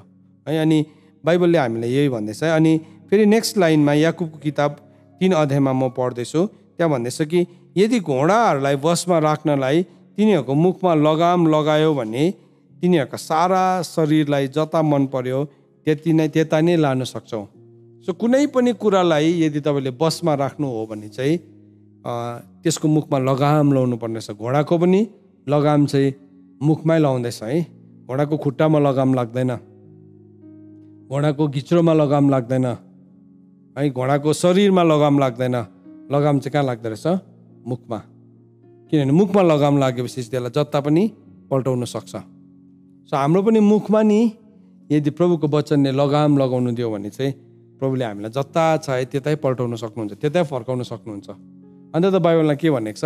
तिमीहरू समझै नभएको खच्चरहरू जस्तो नभ जसलाई रोक्न चाहिँ के चाहिन्छ? लगाम चाहिन्छ डोकरी चाहिन्छ। है? उसलाई उसलाई रोक्नुको लागि चाहिँ किनभने समझ नै छैन। सो मुखमा क्याप्पै पारेपछि लगामले अड्काएपछि मात्रै उसले बुझ्छ सास अड्किनु थाल्यो है दाँत ठोकिनु थाल्यो जिब्रोलाई छुनु थालेपछि मात्रै उसले बुझ्छ कि होइन रहेछ। है ए म रोकिनु पर्ने रहेछ ए न त जान्दै गरेको हुन्छ मूर्ख जस्तै है। त त्यस्तै प्रकारले बाइबलले उदाहरण दिँदैछ। यदि घोडाहरूलाई बसमा राख्नलाई तिनीहरूको मुखमा लगाम लगायो भने तिनीहरूको सारा शरीरलाई पनि जता मन पर्यो त्यतै लान सक्छ। अब बाइबलले भन्छ कि हामीलाई वचन वचनले बताएको छ। हितोपदेश अठारको एक्काइसले भन्छ जीवन र मृत्युको शक्ति चाहिँ कहाँ छ? मानिसको बोलीमा छ। जीवन र मृत्युको शक्ति चाहिँ बोलीमा छ। कतिजना मान्छेले चाहिँ मृत्यु बोलेको बोलेको बोलेको गर्छ आफैसँग। आफैसँग। सो सैतानले चाहिँ छेउमा उभिएर पर्खिरहेको हुन्छ। मेरो लिगल राइट चाहिँ कति बेला पाउँछ?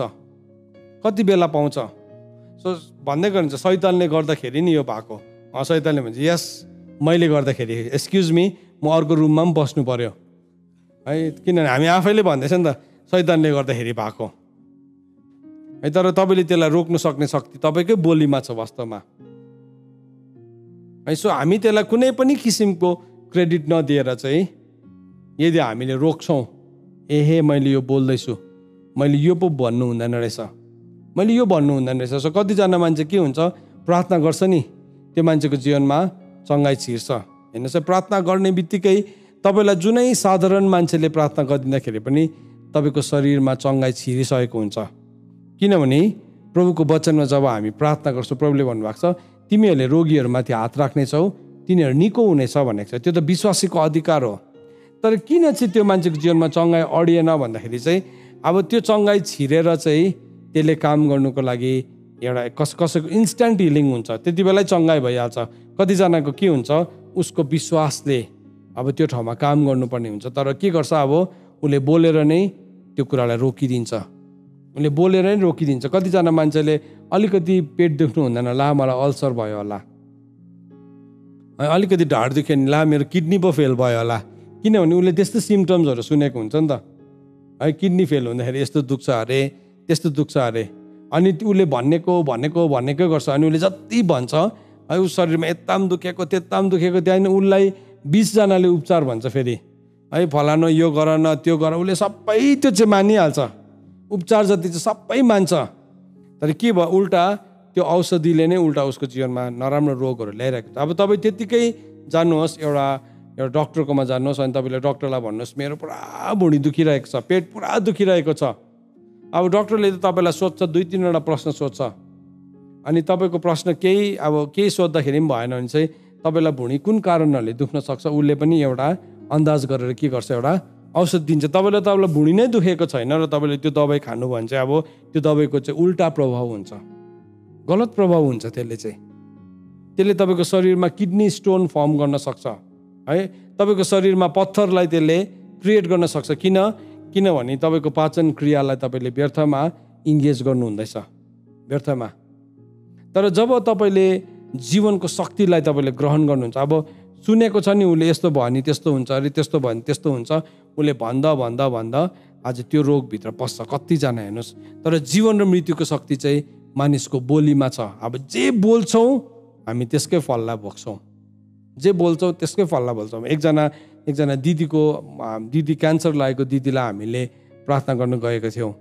अनि मैले उहाँलाई सोधेँ तपाईँलाई कसरी क्यान्सर लाग्यो? है तपाईँले क्यान्सर लाग्नुभन्दा अगाडि तपाईँले त्यस्तो स्वीकार गर्नुभएको थियो कुनै दिन? क्यान्सरलाई स्वीकार गर्नुभएको थियो?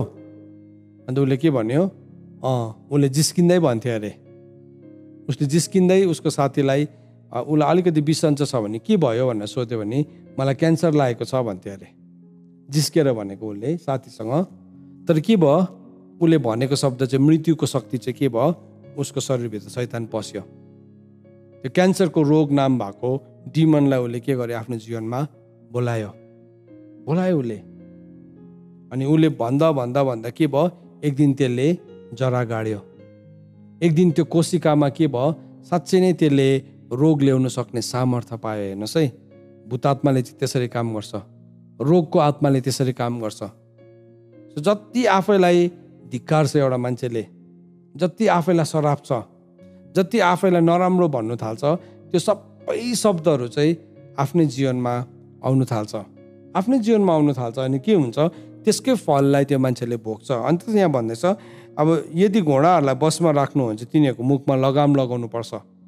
अनि त्यस्तै प्रकारले हेर त जहाजहरू तेज हावाले चल्दछ ती ठुला ठुला भए तापनि एउटा सानो पतवारद्वारा कर्णधारले आफ्नो इच्छा अनुसार जता मन पर्यो त्यतै लान्छ।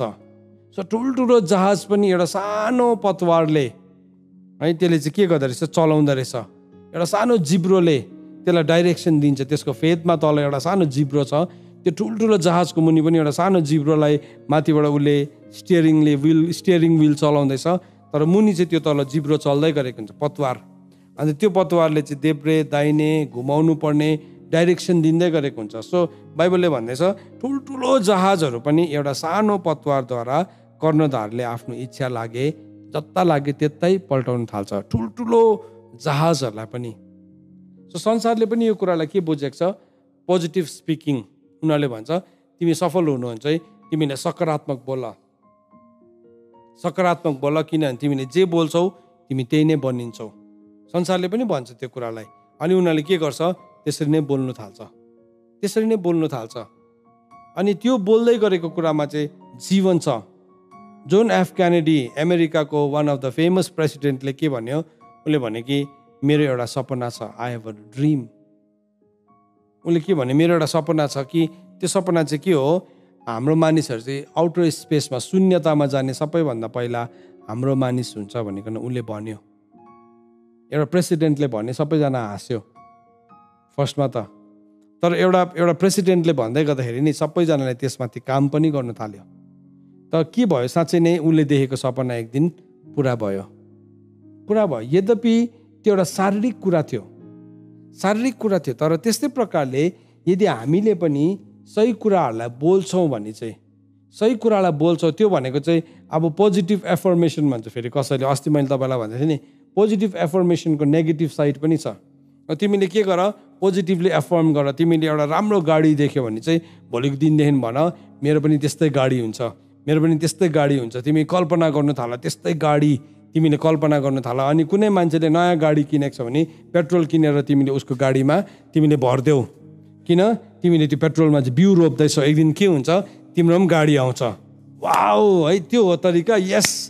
म पनि पेट्रोल हाल्छु। हालेको हालेको है पेट्रोल हाले। सो कतिजना मान्छे चाहिँ लालचले भन्न थाल्छ फेरि त्यो कुरा।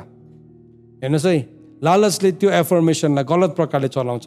अनि त्यो एफर्मेसन गर्दै गर्दाखेरि साँच्चै नै उसको जीवनमा त्यो एफर्मेसनले कतिवटा कुराहरू ल्याउन थाल्छ। किन? वचनले चाहिँ भन्दैछ जीवनको शक्ति छ तर हामीले सही कुरा भन्नु भनेको चाहिँ सही समयमा सही कुराहरू भन्नु हो त्यो चाहिँ। सही समयमा बोलेका कुराहरू चाहिँ बाइबलमा भनेको छ त्यो चाहिँ चाँदीको टोकरीमा सुनको स्याउहरू जस्तै हो। सो चाँदीको टोकरीमा सुनको स्याउहरू चाहिँ के हो? सही समयमा भनेको सही कुराहरू अब हामीले सही समयमा सही कुरा भन्नु थाल्यौँ। है अथवा परमेश्वरको समयमा प्रभुको कुराहरूलाई भन्न थाल्यौँ। त्यो चाहिँ के हो? सही कुराहरू हो। त्यो सही कुरा कसले बोलेको छ? हनोकले बोलेको छ। त्यो सही कुरा कसले बोलेको छ? लु के भरे नुवाले बोलेको छ। त्यो सही कुरा कसले बोलेको छ? प्रभुको दासहरूले बोल्दै बोल्दै गयो अनि उनले सही समयमा भनेको कुराहरू के भयो? समयमा पुरा भयो। याकुबले के गर्यो? बाइबलले भनेको छ आफ्नो लौरोको टुप्पोमा अडिकन आफ्नो बाह्रजना छोराहरूलाई उसले के गरे? आशीर्वाद दिए। सही समयमा भनेका कुराहरू थियो त्यो। सो त्यो it was not a positive affirmation त्यो चाहिँ ओके मलाई गाडी चाहिन्छ मलाई हवाईजहाज चाहिन्छ मलाई घर चाहिन्छ भन्ने खालको कुराहरू थिएन। तर स्वर्गले के गर्दैछ? त्यो कुरालाई उसले भन्यो समयमा। हेर्नुहोस् स्वर्गले नि काम गर्दैछ। तपाईँको जीवनमा नि स्वर्गले काम गर्न चाहन्छ। आज तपाईँ जुन चाहिँ अवस्थामा हुनुहुन्छ आफैलाई जे सोचिराख्नु भएको छ आफैलाई सानो काम नलाग्ने व्यर्थको हारेको सम्झिनुहुन्छ त्यो सैतानले तपाईँसँग बोलेको झुट हो। तर वास्तवमा तपाईँ शक्तिशाली व्यक्ति हुनुहुन्छ। तपाईँभित्र जुन चाहिँ परमेश्वरको आत्मा छ त्यो आत्मा चाहिँ यति साह्रो शक्तिशाली छ त्यो चाहिँ संसारमाथि विजय हुने विश्वास चाहिँ त्यो आत्मामा रिसाइड गर्छ। अनि तपाईँले जब त्यो सामर्थ्यमा बोल्नुहुन्छ बोल्दै गर्दाखेरि चाहिँ तपाईँको जीवन चेन्ज हुनसक्छ बद्लिन सक्छ वचन अनुसार तपाईँले बोल्नुहुन्छ वचनलाई दावी गर्नुहुन्छ तपाईँले भन्नुहुन्छ होइन मेरो जीवनको समयहरू खायो होला किराले खायो होला सलले खायो होला तर आज म पश्चाताप गर्छु। परमेश्वरको वचन अनुसार म मेरो जीवनलाई मिलाउँछु। अनि म के गर्छु? म मेरो जीवनलाई सही डाइरेक्सनमा लान्छु। अनि म आज पश्चाताप गर्दै गर्दाखेरि आज म भित्र चाहिँ परमेश्वरको आत्मालाई म स्वागत गर्छु। तपाईँले भन्न थाल्नु भने तपाईँ भित्र साँच्चै नै परमेश्वरको आत्मा आउन थाल्छ। तर होइन म त हुँदिनँ। पहिला पनि कोसिस गरेको हो पहिला पनि रिह्याबमा बसेको हो पहिला पनि यो गरेको हो पहिला पनि मेरो फेल भएको हो पहिला पनि मेरो धन डुबेको हो। अब तपाईँले त्यस्तो शङ्काको साथ गर्नुहुन्छ भने फर्स्टमै तपाईँले गलत ठाउँमा सुरु गर्नुहुँदैछ। सो त्यसले गर्दा त्यो फेल नहोस् भनेर चाहिँ प्रभुले हामीलाई के दिनुभयो? आफ्नो व्यवस्था दिनुभयो। हेर्नुहोस् है तपाईँलाई मैले त्यत्तिकै पोजिटिभ एफर्मेसनको कुरा गरेको होइन। सुन्नुहोस् भाइहरू त्यत्तिकै सकारात्मक कुरा बोल्नुपर्छ भनेको होइन। सकारात्मक कुरा बोल्नको लागि नि कसरी बोल्नु भनेर परमेश्वरले आफ्नो ल दिनुभएको छ? परमेश्वरले आफ्नो व्यवस्था दिनुभएको छ। तपाईँले पढ्दै जानु भने नि पन्ना पल्टाउँदै जानु भने तपाईँ छक्कै पर्नुहुन्छ। तपाईँको जीवनसँग सम्बन्ध राख्ने एक एकवटा सानो तिनो ठुलो सबै कुराहरू चाहिँ त्यो वचनमा लेखेको छ। हरेक कुराहरू। अब परमेश्वरको वचनमा लेखेको कारणले गर्दाखेरि जब तपाईँले त्यसलाई पढ्नुहुन्छ जब तपाईँले त्यसलाई लागू गर्नुहुन्छ जब तपाईँले त्यसलाई व्यवहारिकतामा ल्याउनुहुन्छ त्यो क्रियाशील हुन्छ। क्रियाशील हुन्छ हरेक एरियामा काम गर्छ। हरेक तपाईँको डे टु डे लाइफमा तपाईँको दिन प्रतिदिनको जीवनमा कतिजनाको जीवनमा कस्तो भएको हुन्छ भने जीवनबाट ठुलो गल्ती भएको हुन्छ ठुलो भुल भएको हुन्छ उसले यस्तो डरलाग्दो ब्लन्डर मिस्टेक गरेको हुन्छ। है तर जब तपाईँले नि अब त्यो मिस्टेकलाई सुधार्ने प्रक्रियामा जानुहुन्छ त्यो सुधार्ने प्रक्रिया चाहिँ कसरी सुरु हुन्छ? आफ्नो दोष मानिलिनु र आफ्नो गल्तीलाई न नलुकाउनुदेखि सुरु हुन्छ। अनि हामी प्रभुलाई भन्छौँ प्रभु आज मेरो जीवनबाट यस्तो ठुलो गल्ती भएको छ। यस्तो ठुलो ब्लन्डर भएको छ। मलाई थाहा छैन यो कुरा कसरी सचिन्छ तर आजदेखि चाहिँ म सच्याउनलाई तयारी छु। जब हामी त्यो भन्छौँ नि अनि त्यो कुरालाई बोल्न थाल्छौँ अनि परमेश्वरको वचनबाट हेर्छौँ नि बाइबलले भनेको छ विश्वास र भक्तिद्वारा दोषहरू मेटिन थाल्छ। मेटिन्छ त्यो मान्छेको। सो उसको जीवनमा जुन दोष लागेको छ उसलाई प्रार्थना गर्नु त बस्छ नि तर दिमागको पछाडि एउटा कुरा बोलेको बोलेको बोलेको छ। अनि कतिजनाले चाहिँ के गर्छ? छोप्छ त्यसलाई। छोप्छ त्यसलाई लुकाउँछ त्यसलाई कुनै कसको माथि काँधमा जिम्मा लगाएर यसले गर्दाखेरि भन्ने कोसिस गरिरहेको हुन्छ। होइन। होइन। तपाईँले आफ्नो दोष लुकाउनु हुँदैन। हो प्रभु म फेल भएको। म असफल भएको। तर तपाईँको अगाडि मेरो सिन्दुरे रङको पापलाई लिएर आउँदैछु। मेरो गल्तीलाई लिएर आउँदैछु। आज म मानिलिँदैछु। जब तपाईँ र मैले भन्न थाल्छौँ नि त्यो ठाउँमा चाहिँ अब ठुल्ठुलो ठुल्ठुलो जहाजहरूलाई पनि नि हामीले राइट डाइरेक्सनमा लान सक्छौँ। हाम्रो जीवनको ठुल्ठुलो जहाजहरू। ठुल्ठुलो जहाजहरू भन्ने शब्दलाई यहाँ एउटा एक ठाउँमा बताएको छ है। अर्को ठाउँमा विश्वासको जहाजलाई चाहिँ धनको लोभले डुबाइदिन्छ भनेको छ। अनि अर्को चाहिँ नुवाको जहाज थियो। तिनवटा जहाजको कुरा गरेको छ बाइबलमा। एउटा चाहिँ नुवाको जहाज हो। जुन चाहिँ जहाजमा चाहिँ चढिकन त्यो समयको मान्छेहरू बाँच्यो नुवा अनि उसको परिवार। अर्को जहाज चाहिँ है धनको लोभले गर्दाखेरि डुबेको गल्ती निर्णयहरूले गर्दाखेरि डुबेको कुराहरू जहाज छ। अर्को जहाज चाहिँ नि अब यो जहाज रहेछ जो जीवनको जहाज जुन चाहिँ जीवनको जहाजलाई चाहिँ हाम्रो बोली सही बनायो भने त्यो गलत डाइरेक्सनबाट पनि फर्केर आउन सक्छ। परमेश्वरको अधीनमा आउनु भनेको चाहिँ त्यो त्यहीँ छ खासमा हाम्रो प्रब्लम। हाम्रो समस्या त्यहीँ छ। अनि त्यो शक्ति चाहिँ तपाईँभित्र छ। अनि बाइबलले भन्दैछ जिब्रो पनि सानो सानो सानो अङ्ग भएर ठुल्ठुलो कुराहरूको अभिमान गर्छ। अनि हेर एउटा सानो आगोको झिल्काले ठुलो वन पनि सोहा पार्दछ। जिब्रो पनि एउटा आगो नै हो। यो शरीरको अङ्गहरूमध्ये अधर्मको एउटा दुनियाँ हो। बाइबलले भन्दैछ जिब्रो चाहिँ अधर्मको एउटा दुनियाँ हो। डल्लै आफैमा नै एउटा संसार हो। तपाईँ र म भित्र एउटा दुनियाँ नै बसेको रहेछ। प्रभुले भन्नु परमेश्वरको राज्य तिमीहरू भित्र छ भनेको छ। लुकाको किताब सत्र अध्यायको एक्काइस पदमा the kingdom of God is within your soul भनेको छ। तिम्रो प्राणभित्र छ भनेको छ भने चाहिँ फेरि यहाँ चाहिँ के भन्दैछ? जिब्रोमा चाहिँ फेरि एउटा अधर्मको डल्लै दुनियाँ रहेछ। कस्तो अचम्मको मान्छे है हामी। परमेश्वरको राज्य पनि हाम्रो भित्र छ अरे। डल्लै किङडम अफ गड जिब्रोमा चाहिँ के छ अरे फेरि? अधर्मको दुनियाँ छ अरे। हेर्नुहोस् है वचनलाई राम्रोसँगले बुझ्न जरुरी छ।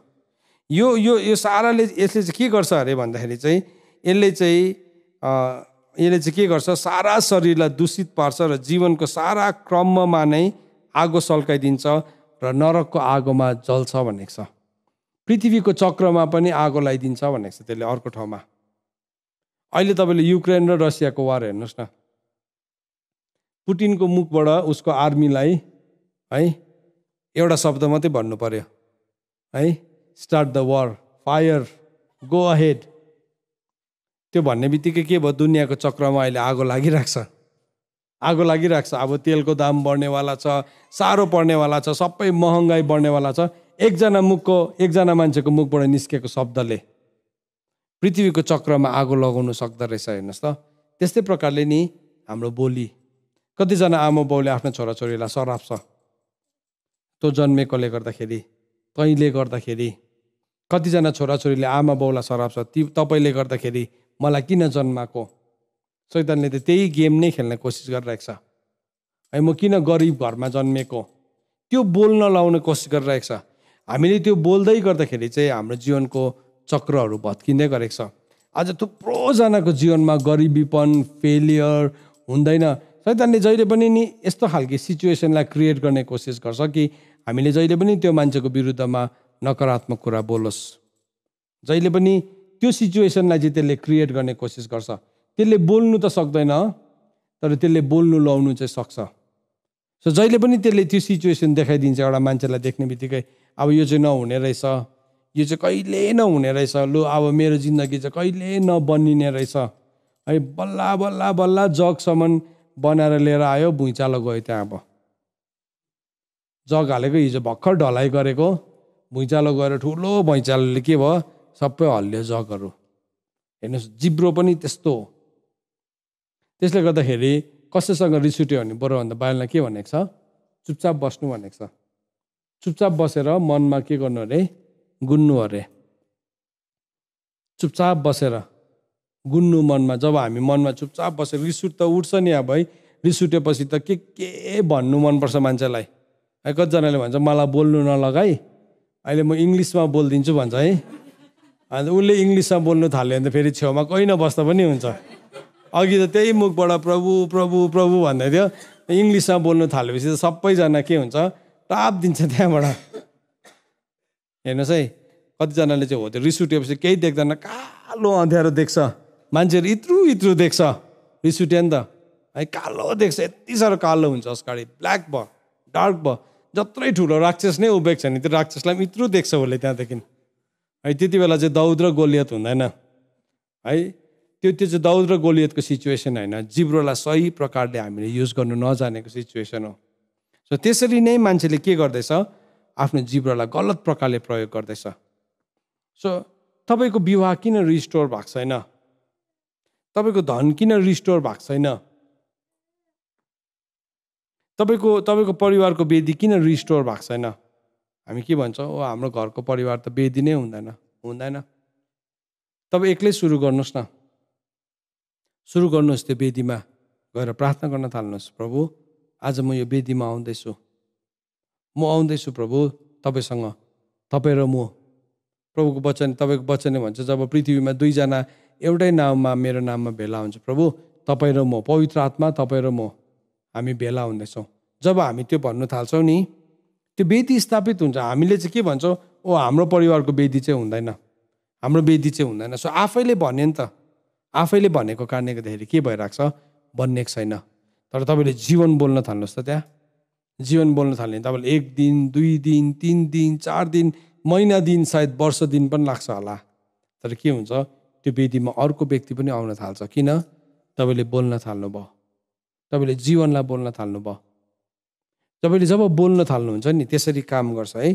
सो बाइबलले भन्दैछ यसले चाहिँ सारा कुरालाई दूषित बनाउँछ। यसले सारा शरीरलाई दूषित पार्छ र जीवनको सारा क्रममा नै आगो सल्काइदिन्छ र नरकको आगोमा त्यो जल्छ। कतिजना मान्छेहरूले नरकको दर्शन देखेको। अब वास्तवमा त नरकको दर्शन देखेको होइन त्यो पातालको दर्शन देखेको। नरक त अहिलेसम्म खोलिएकै छैन तर अब भन्दाखेरि चाहिँ नरककै दर्शन देखेँ भन्छ। नरक त सेतो सिंहासनको ब्या बादमा मात्रै खोलिन्छ न्यायको बादमा मात्रै। तर पातालमा देखेको दर्शनहरूमा उनीहरूले के देखेका छन् कतिजना राम्रो प्रभुलाई विश्वास गर्ने मान्छे। मैले एकजनाको टेस्टिमनी सुन्दै थिएँ उसलाई उसलाई त्यो एउटा ठाउँमा देखाएछ लगेको अनि उसले चाहिँ यत्रो ठुलो ढुङ्गालाई ठेल्दै थियो अरे उकालो। यत्रो ठुलो ढुङ्गालाई। अनि चिनेछ अरे यो त प्रार्थना गर्ने आमा हो। यो त एकदमै प्रार्थना गर्ने आमा हो। तर किन आज ऊ यो पातालमा छ? किन ऊ जजमेन्टमा छ? किन यो ठाउँमा पर्खिरहेको छ भन्दाखेरि चाहिँ होइन यसको बोली ठिक थिएन। यसले मलाई प्रार्थना त गर्थ्यो तर त्यो प्रार्थना गर्दा गर्दै पनि यसले अरूलाई थियो पनि। यहाँ हेर्नुहोस् त बाइबलमा एक्ज्याक्टली लेखेको छ। त्यसले चाहिँ के गर्छ अरे? त्यसले चाहिँ नरकको आगोसम्म पनि पुऱ्याइदिन्छ अरे। यसले सारा शरीरलाई दूषित तलाउँछ तुल्याउँछ र सारा जीवनको क्रममा नै आगो सल्काइदिन्छ र नरकको आगोमा त्यो जल्छ भन्दैछ।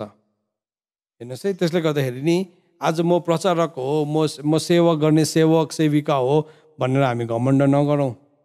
किनभने हाम्रो जिब्रोको कारणले गर्दाखेरि नरकको आगोसम्म पनि पुग्न सक्दो रहेछ।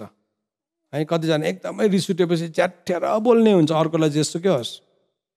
है यस्तो च्याठेर बोल्छ यस्तो नराम्रो प्रकारले बोल्छ खर्रो प्रकारले बोल्छ उतापट्टि अर्को मान्छेलाई साह्रो पार्दै गरेको हुन्छ। है बाइला भनेको चाहिँ जसले आफ्नो भाइलाई ए मूर्ख भन्छ त्यो चाहिँ नरकको आगोको योग्य हुन्छ। हाम्रो बोली इम्पोर्टेन्ट छ। यो जिब्रोलाई नि तह लाउनु जान्यो भने चाहिँ नि हामीले शरीरमाथि आफ्नै शरीरमाथि विजय पाउँछौँ। आफैमाथि नै हामीले विजय पाएको हुन्छौँ। र आफैमाथि विजय पाएको मान्छे मात्रै अरूमाथि विजय हुन सक्छ।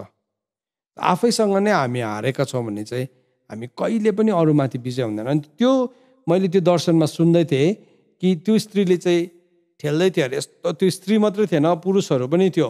अरू सेवक सेविकाहरू थियो राम्रो राम्रो प्रभुको दासहरू थियो। तर कहाँ थियो उनीहरू? त्यो पातालको आगोमा जल्दै थियो। बचाउ बचाउ भन्दैछ। तर त्यहाँ चाहिँ यत्रो ढुङ्गालाई ठेलेर माथि लानुपर्ने उकालो। उसले कोसिस गरिरहेको छ। अनि त्यो ढुङ्गा चाहिँ केसको बनिएको रहेछ भन्दाखेरि उसको आफ्नै शब्दको उसको आफ्नै रिसमा बोलेको कुराहरूको। हेर्नुहोस् है। अन्त त बाइला भनेको छ बलुवा बलुवा चाहिँ ओजनदार हुन्छ है। रिस चाहिँ एउटा गरौँ ढुङ्गा जस्तै हो। हेर्नुहोस् है रिसले चाहिँ नि त्यो एउटा यस्तो ढुङ्गा अन्त बाइबलले त्यो सबै कुराको क्लुजहरू हामीलाई दिएको छ। सबै कुराहरू बताएको छ। हामीले के बोल्दैछौँ? आफैमाथि के बोल्दैछौँ? रिस उठ्दाखेरि के बोल्दैछौँ? कसैले रिस उठेपछि भड्काउने बानी हुन्छ। अर्कोलाई पनि भत्काउने। अर्कोलाई पनि बिगारिदिने आदत हुन्छ। गलत हो त्यो। त्यो गलत हो। सो त्यो कुराहरूदेखि नि हामीलाई परमेश्वरको वचनले स्वतन्त्र हुनलाई बोलाएको छ। सो बाइबलमा भन्दैछ त्यो चाहिँ घातक विषले भरिएको यो चञ्चल र दुष्ट हो। घातक विषले भरेको छ। मुखमा जिब्रोमा यति साह्रो चञ्चल र दुष्ट छ। अन्त त जब मान्छेले नि जब मान्छेले नराम्रो कुराहरू खान थाल्छ। अल्टिमेटली यस्तो पोइन्टमा पनि पुग्छ अरे। जिब्रोमा साँपले ठुङ्गाउने पोइन्टमा पनि पुग्छ अरे। अब त्यो high level of addiction drug एडिक्सनमा गर्दै गर्दाखेरि अल्टिमेटली ऊ जिब्रोलाई साँपले ठुङ्गाउनेसम्म पनि पुग्छ अरे। किनभने उसले अब अल्टिमेटली पोइजन नै खाने पोइजन नै पनि उसको शरीरले डिमान्ड गर्छ। तर जिब्रो आफैलाई पनि एउटा पोइजन भनेर वचनले भन्दैछ। सो हाम्रो मुखबाट निस्केको शब्दहरूले पोइजनले हामीले को कोलाई घाइते गरेका छौँ? यो पनि हामीले जान्न जरुरी छ। हामी त्यत्तिकै नबसौँ। पवित्र आत्मा आज हामीसँग किन हुनुहुन्छ हेर्नुहोस् ल। पवित्र आत्माले नि जब आउनुभयो प्रेरितको दिनमा अब यो लास्ट कुरा म तपाईँलाई भन्दैछु। म राख्छु यतिमै यो मेसेजलाई प्रेरितको किताब दुई अध्यायमा जब पवित्र आत्मा आउनुभयो पवित्र आत्माको चिन्ह के थियो भन्नुहोस् त? चिरिएको जिब्रोहरू। क्लोभ्स अफ फायर भनेको छ क्लिभ्स अफ फायर भनेको छ। त्यो आगोको चिन्ह चाहिँ कस्तो थियो? जिब्रो काटेको जस्तै थियो। जिब्रोलाई चिर्दाखेरि जस्तो हुन्छ नि मान्छेको जिब्रोलाई। पवित्र आत्माको आगोको साइन चाहिँ त्यस्तो थियो अरे त्यति बेला। आगोको चिरा चिरा देखा पर्यो भनेको छ। त्यो चाहिँ इङ्ग्लिसमा चाहिँ त्यो चाहिँ फायरको टङ्स अफ फायर है त्यो जो काटिएको च्यातिएको भनेको छ। अनि पवित्र आत्मालाई पनि थाहा छ। मैले यो मान्छेलाई पक्रिनु भने चाहिँ फर्स्टमा केमा पक्रिनुपर्छ? जिब्रोमा पक्रिनुपर्छ। जिब्रोमा। साँपलाई पक्रिँदाखेरि के गर्छ मान्छेले? पहिला त्यसको मुखैमा त्यो पोइजन निकाल्ने कुरालाई के गर्छ त्यसले? हाल्छ मुखैमा हालेपछि चाहिँ त्यसले मुखैमा निचोरिदिन्छ त्यसले त्यसको पोइजन निकालेको निकालेको निकालेको गर्छ। त्यहाँदेखि त्यसको जब पोइजन डल्लै निस्किसक्छ त्यहाँदेखि चाहिँ के गर्छ? अब त्यो साँपलाई टेम गर्न सक्छ उनीहरूले ट्युन सक्छ। त्यस्तै प्रकारले नि हाम्रो जिब्रो पनि चञ्चल छ बदमास छ। निन्दा गर्नुमा पायो भने भट्टाभट्टी निन्दा गरिदिइहाल्छ एकैछिनमा। है कसैको विरोध गर्नु पायो भने भट्टाभट्टी विरोध गरिदिइहाल्छ नसोचिकन। है हाम्रो शब्दले के हुँदैछ? अन्त त बाइबलले हामीलाई के भनेको छ? दस आज्ञामा एउटा तैँले झुटा गवाई नदे। तैँले झुटा गवाई नदे। तैँले कुरा बुझेको छैनस् नि। यदि कुरा बुझेको छैन भने हामी चुपचाप बस्नुपर्छ। कसैले कसैको विरोध गर्दैछ भने हामी भन्नुपर्छ होइन हामी उसको लागि प्रार्थना गरौँ। किनभने त्यो विरोधले चाहिँ हामी आफै पनि दोषी हुँदै गरेका हुन्छौँ। तर जब हामी प्रार्थना गर्छौँ हामी पिता जस्तो सिद्ध हुनुहुन्छ हामी पनि त्यही सिद्धतामा आउँछौँ। सो बाइबलले भन्दैछ कि जिब्रो चाहिँ विषले भरिएको छ। विषले भरिएको छ। अनि पवित्र आत्मा जब आउनु भयो नि पवित्र आत्मा आउने बित्तिकै मान्छेको जिब्रोलाई पक्रिनु भयो। अनि आज हामीले पवित्र आत्माको भाषा जो बोल्छौँ त्यसलाई के भन्छौँ? Unknown tongues. हामीले कहिले पनि नजानेको भाषा। कहिले पनि नजानेको भाषा। सो बाइबलमा यसरी भन्ने लेखेको छ रोमीको किताब आठ अध्यायको छब्बिस अनि सत्ताइस पदले पवित्र आत्माले चाहिँ हाम्रो हाम्रो लागि अन्तर्विन्ती गर्नुहुन्छ। हामीले कसरी प्रार्थना गर्नुपर्ने हो त्यो हामी जान्दैनौँ अरे। हामीले कसरी प्रार्थना गर्नुपर्ने जान्दैन अरे तर पवित्र आत्माले चाहिँ बयान गर्नु नसक्ने शब्दमा स्वरमा चाहिँ के गर्नुहुन्छ? हाम्रो लागि अन्तर्विन्ती गर्नुहुन्छ इन्टरसे इन्टरसेसन गर्नुहुन्छ इन्टरसिड गर्नुहुन्छ। अनि हामीले चाहिँ नि अब पवित्र आत्माले चाहिँ जान्ने भाषामा प्रार्थना गरेको भए चाहिँ हामी पवित्र आत्माको प्रार्थनालाई रोकिहाल्थ्यो। है? पवित्र आत्माले चाहिँ भन्दै गरेको हुन्छ हामीले त शब्द मात्रै भन्दै गरेको हुन्छ राख रामा सिथा राबा भन्दैछ। के भनेको भनेको? म्युजिक जस्तै सुन्छ धुन जस्तै सुन्छ हाँस पनि उठ्छ कोही कोही बेला आफैलाई पनि। के भनेको जस्तो पनि लाग्छ है। तर बाइबलमा भनेपछि त्यसरी नै गर्नुहुन्छ अरे। तर त्यो भन्दै गर्दाखेरि चाहिँ नि पवित्र आत्माले चाहिँ म सायद म भित्र भन्दै हुनुहुन्छ होला। यो निकै चट्टु छ आजकल। है? आजकल यसले यसले निकै ढाँट्दैछ यसको बेहोरा अलिक ठिक छैन। यसको आँखाहरू ठिक छैन। है यसको बोली ठिक छैन। यसले यसको पत्नीलाई मन दुखाइरहेको छ। अरूहरूको छेउमा धर्मी एक्टिङ गर्दैछ। अब पवित्र आत्माले नेपालीमै प्रार्थना गऱ्यो भने त हामी के भन्छ बुइयो बुइ रोक रोक रोक रोक है सैतानबाट आएको भन्छ नि है। तर पवित्र आत्मा भेरी स्मार्ट यति साह्रो बुद्धिमान हुनुहुन्छ। अन्य भाषामा गर्दैछु म त। आफ्नै सबै उगेल्दैछु। तर पवित्र आत्माद्वारा है भन्दैछ पवित्र आत्माले चाहिँ। भन्दैछ यो चाहिँ बदमास भएको छ यो उत्तौलो भएको छ यो चञ्चल भएको छ यसले पुरा एक्टिङ गर्दैछ। यसले नक्कल पार्दैछ। तर कसरी भन्छ अरे? बयान नै गर्नु नसक्ने शब्दमा।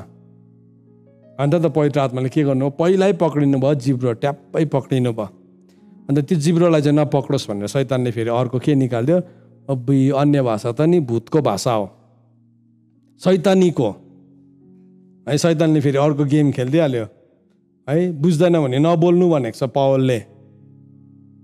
त्यो चाहिँ के भनेको थियो भन्दाखेरि चाहिँ नि वास्तवमा सुन्नुहोस् है कतिजनाले त्यहाँ पनि कन्फ्युजन छ। अस्ति मलाई सोधेर एकजनाले प्रश्न पठाएको थियो। है त्यो चाहिँ तिमीले मण्डलीको सभामा नबोल्नु अनुवाद गर्ने छैन भने चाहिँ नबोल्नु भनेको चाहिँ के भनेको त्यो भनेर मलाई पठाएको थियो। सुन्नुहोस् अहिले नि मैले तपाईँलाई अन्य भाषामा प्रचार गरेँ भने तपाईँले बुझ्नुहुन्न। बुझ्नुहुन्छ तपाईँहरूले? अन्य भाषामा मैले तपाईँलाई राखा थारामा रिखाराबा राखान्दानाबा रिखाराबा खाराबा भन्ने बुझ्नुहुन्छ? बुझ्नुभयो बुझेन नि। अन्त तिमीलाई अन्य भाषामा प्रचार गर्नु मन छ भने चाहिँ तिमीले छेउमा को राख एउटा अनुवादक राख भनेको त्यति बेला चाहिँ। प्रचार नगर भनेन।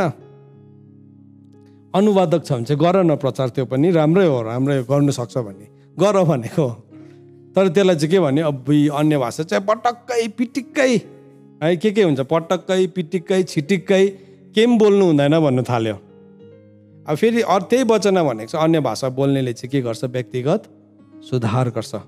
अब त्यहाँ सुधार त भित्र त चाहिएको छ नि बाहिर त तपाईँले मलाई यसो हेर्नु भने त राम्रै मान्छे देख्नुहुन्छ नि। तर म भित्रको सुधार कस्तो छ छ कस्तो चाहिएको छ सायद म मेरो बुढीसँग बाजेर बसिरहेको होला अहिले। एकदमै तपाईँको अगाडि धर्मी एक्टिङ गरिरहेको होला। पवित्र त देखिराख्नु भएको छ। अहिले भर्खर यो बाजेर आएको हुनु त यसले परमेश्वरकै वचन प्रचार गर्दैछ तर यसको सही छैन यहाँ चाहिँ। सो यीशु ख्रिस्टसँग प्रार्थना गर्नुहुन्छ पवित्र आत्माले। अनि यीशु ख्रिस्टले पिताको दाहिने हातपट्टि बसिकन अन्तर्विन्ती गर्नुहुन्छ। त्यो अन्तर्विन्तीलाई यीशु ख्रिस्टको रगतद्वारा उहाँले पिताको अगाडि प्रस्तुत गर्नुहुन्छ। पवित्र आत्माले गर्नुभएको प्रार्थनालाई चाहिँ उहाँले त्यसरी प्रस्तुत गर्नुहुन्छ। सो त्यो नबोलोस् भनेर चाहिँ अब सैतानले चाहिँ के हालिदियो यस्तो फल्स टिचिङ हाल्यो। अन्य भाषामा चाहिँ अनुवादक छैन भने चाहिँ नबोल है नबोल। अनुवादक छैन भने हो नि। मैले अहिले चाइनिज भाषामा प्रचार गरेँ भने चाइनिजले मात्रै बुझ्छ नि त। तर अरूहरू त हेरेकै हेरेकै हुन्छ नि त। सो मैले त्यसलाई सहज गर्नुको लागि चाहिँ मलाई एउटा सहजकर्ता चाहियो। अनि त्यसलाई इन्टरप्रेटर चाहियो। हो त्यो भनेको हो वास्तवमा चाहिँ। तर त्यसलाई चाहिँ कस्तो खालके बनायो? अब पटक्कै हुँदैन। चर्चमा चाहिँ बोल्नै हुँदैन। बोल्नै हुँदैन। किनभने बाइबलमा भनेको छ जसले चाहिँ अन्य भाषामा प्रार्थना गर्छ उसले जान्दैन तर ऊ परमेश्वरसँग बोलिरहेको हुन्छ। मैले जान्दिनँ तर म प्रभुसँग बोलिरहेको हुन्छु। अनि त्यसले चाहिँ मेरो व्यक्तिगत सुधार गर्छ। तपाईँ एउटा सेवक हुनुहुन्छ। तपाईँ सेवक हुनुहुन्छ दिनमा एटलिस्ट एक घन्टा दुई घन्टा अन्य भाषामा प्रार्थना गर्नुहोस्। किन तपाईँले त्यसरी प्रार्थना गर्न थाल्नु भने नि अर्को पालि तपाईँले नबुझेको कुराहरू बुझ्न थाल्नुहुन्छ। जतासुकै नसोची बोल्ने मान्छे भने नि पवित्र आत्माले टक्कै भन्नुहुन्छ होइन यहाँ चुप लाग चुप चुप चुप चुप भन्छ। अनि हामी के हुन्छौँ? चुप्प लागिहालेको हुन्छौँ यहाँ। है हामी यत्रो ठुलो पद प्रतिज्ञा गर्नु आँटेको हुन्छ। न न विचार गरिकन नसोचिकन नचिनिकन गर्नु आँटेको हुन्छ। पवित्र आत्माले भन्छ होइन एकछिन रोकी। एक दुई दिन पर्खी। वेट एन्ड वाच हेर पर्ख हेर के भन्नुहुन्छ? त्यहाँदेखि हामी बुझ्छौँ। अब पवित्र आत्माले भरेको छैन भने चाहिँ हामी के गर्छौँ? यस्तो डरलाग्दो निर्णयहरू लिन्छौँ जीवनमा। है मान्छेलाई नभएको कुराहरू भन्छौँ गर्छु भन्छ गरिसकेर थाहा पाउँछ त्यो मान्छे त छली थिएछ चोर थिएछ। त्यहाँदेखि के भयो अब त्योसँग रिसाउनु पनि भएन अरूलाई बताउनु पनि भएन फेरि अनि आफैलाई गाह्रो परिरहेको हुन्छ त्यहाँदेखि हामी सबैजनालाई शङ्काको नजरले हेर्छौँ तर पवित्र आत्माले भरेका छौँ भने चाहिँ यो जिब्रोलाई हामीले पवित्र आत्मालाई समर्पण गरेका छौँ भने चाहिँ हामीले सही कुराहरू बोल्दै गरेका हुन्छौँ त तपाईँहरू जतिजनाले यो विश्वासीको चिन्ह तपाईँले पाउनु भएको छैन भने तपाईँले माग्नुहोस् प्रभुलाई के के गलत शिक्षाहरू सुनेर युट्युबहरूमा कतिजनाले यस्तो डरलाग्दो डरलाग्दो पवित्र आत्माको विरोध गरेर राखेको छ। किन? किनभने उनीहरूको डक्ट्रिनले त्यस्तो सिकायो। वचनले सिकाएको थिएन। उनीहरूको डक्ट्रिनले सिकाएको कारणले गर्दाखेरि चाहिँ उनीहरूले उत्पटाङ जे भन्नु मन पर्यो पवित्र आत्माको विरुद्धमा। भन्नु थाल्यो आज प्राय चर्चेसहरूमा अन्य भाषामा बोल्नुदेखि रोक्छ अनि त्यो चर्चेसहरूमा देयर इज नो फायर आगो नै छैन। किन? किनभने त्यो आगो त जीवन सुध्रेपछि आउने कुराहरू हो नि त। तर त्यहाँ त भत्किएको टुटेको फुटेको कहिले पनि नसुध्रिने जीवनहरू बसिरहेको छ। मेरो प्रियहरू आज तपाईँले यो कुरालाई सिक्दै हुनुहुन्छ भने याद राख्नुहोस् यो अन्य भाषामा पनि हामीले बोल्न आवश्यक छ। किनभने व्यक्तिगत सुधार पहिला व्यक्तिगत सुधार प्रभुले के भन्नुभयो? आफ्नो आँखाको मुढालाई निकाल अनि त्यसको पछाडि अर्काको आँखाको कसिङ्गरलाई सफा गर। आफै चाहिँ आँखामा मुढा राखेर चाहिँ हुँदैन है। पहिला व्यक्तिगत सुधार नभइन्जेलसम्म अरूहरूलाई भाषण दिएर हुँदैन। पहिला चाहिँ मलाई मेरो व्यक्तिगत सुधार चाहिएको छ। जो चाहिँ मैले जब अन्य भाषामा प्रार्थना गर्छु जब मेरो जिब्रो चाहिँ पवित्र आत्मालाई दिन्छु। सो जब पनि एउटा मान्छेले आफ्नो जिब्रोलाई बसमा राख्छ त्यति बेला चाहिँ के हुँदो रहेछ? ऊ परमेश्वरको अधीनमा आएको हुँदो रहेछ। अब यो मेसेज लामो छ तर यो मेसेजलाई म यतिमै राख्न चाहन्छु। त आज हामी प्रार्थना गर्दै गर्दाखेरि हामी यो सबै कुराहरूलाई मध्यनजरमा राखौँ। हामी यो विषयहरूलाई यहाँ बिसवटा बुँदा छ यो विषयहरूलाई हामी प्रार्थना गर्छौँ हामी अरूहरूको लागि प्रार्थना गर्छौँ तर धेरैपल्ट आफ्नै जीवनमा सुधार भएको हुँदैन। त आज वचन सुन्दै गर्दाखेरि हाम्रो जीवनमा सुधार गर्नुपर्ने एरियाहरूलाई देखेका छौँ अधीनमा आउनुपर्ने एरियाहरूलाई देखेका छौँ भने हामी साँच्चै नै आफैलाई प्रभुको अधीनमा ल्याउँ अनि हामी प्रार्थना गरौँ। अनि आज जसै हामी प्रार्थना गर्छौँ म तपाईँलाई एन्करेज गर्छु जतिजना जुममा युट्युबमा जोडिनु भएको छ तपाईँ हुनसक्छ भने अन्तिम समयसम्म बस्नुहोस्। किनभने आजको जुन पवित्र जब प्रभु भोजको शिक्षालाई हामी सिक्न गइरहेको छौँ इम्पोर्टेन्ट टिचिङ छ तपाईँले सिक्न सक्नुहुन्छ यसलाई। अनि त्यति मात्र होइन हामीले कुनै कुरालाई सुरु गरेर हामीले त्यसलाई निष्कर्षमा पनि पुर्याइरहेका हुन्छौँ। आउनुहोस् हामीहरू यति बेला प्रार्थना गर्नेछौँ अनि हामी आजको सेवाभित्र पस्नेछौँ। धन्यवाद। प्रभु तपाईँको वचनअनुसार हामीले सिकेका छौँ हामीले जान्यौँ। हामीले आफैलाई कसरी तपाईँको अधीनमा ल्याउनु? हाम्रो जिब्रोलाई अधीनमा ल्याउँदाखेरि चाहिँ प्रभु आज सबै कुराहरू अधीनमा आउँदो रहेछ हाम्रो शरीरको। प्रभु हामीले यो कुरालाई जानेका छौँ प्रभु। हाम्रो जिब्रोको कारणले गर्दाखेरि नरकुण्डमा जाने हामी योग्यका भएका छौँ भने प्रभु आज हामी पश्चाताप गर्छौँ। हामीलाई देखाइदिनुहोस् पवित्र आत्मा। आजको बेलुकी यो प्रार्थना गर्दै गर्दाखेरि अहिले हामी अन्य भाषामा प्रार्थना गर्दै गर्दाखेरि हाम्रो व्यक्तिगत सुधार भएको होस्। हाम्रो जीवनमा परिवर्तन आएको होस् प्रभु। र तपाईँको महिमा हुन सकोस्। धन्यवाद प्रभु। हामी यति बेला प्रभु तपाईँको वचन अनुसार हामी सबै हात हतियारहरूलाई धारण गरिकन जस्तै प्रार्थना गर्छौँ अब त्यो आत्माको नयाँ सामर्थ्य हामी हरेकको जीवनमा खोलिएको होस् र तपाईँलाई महिमा भएको होस्। धन्यवाद। सबै बिन्ती माग्छु। पुत्र प्रभु यीशु ख्रीष्टको जिउँदो अनि पवित्र नाउँले। आमेन।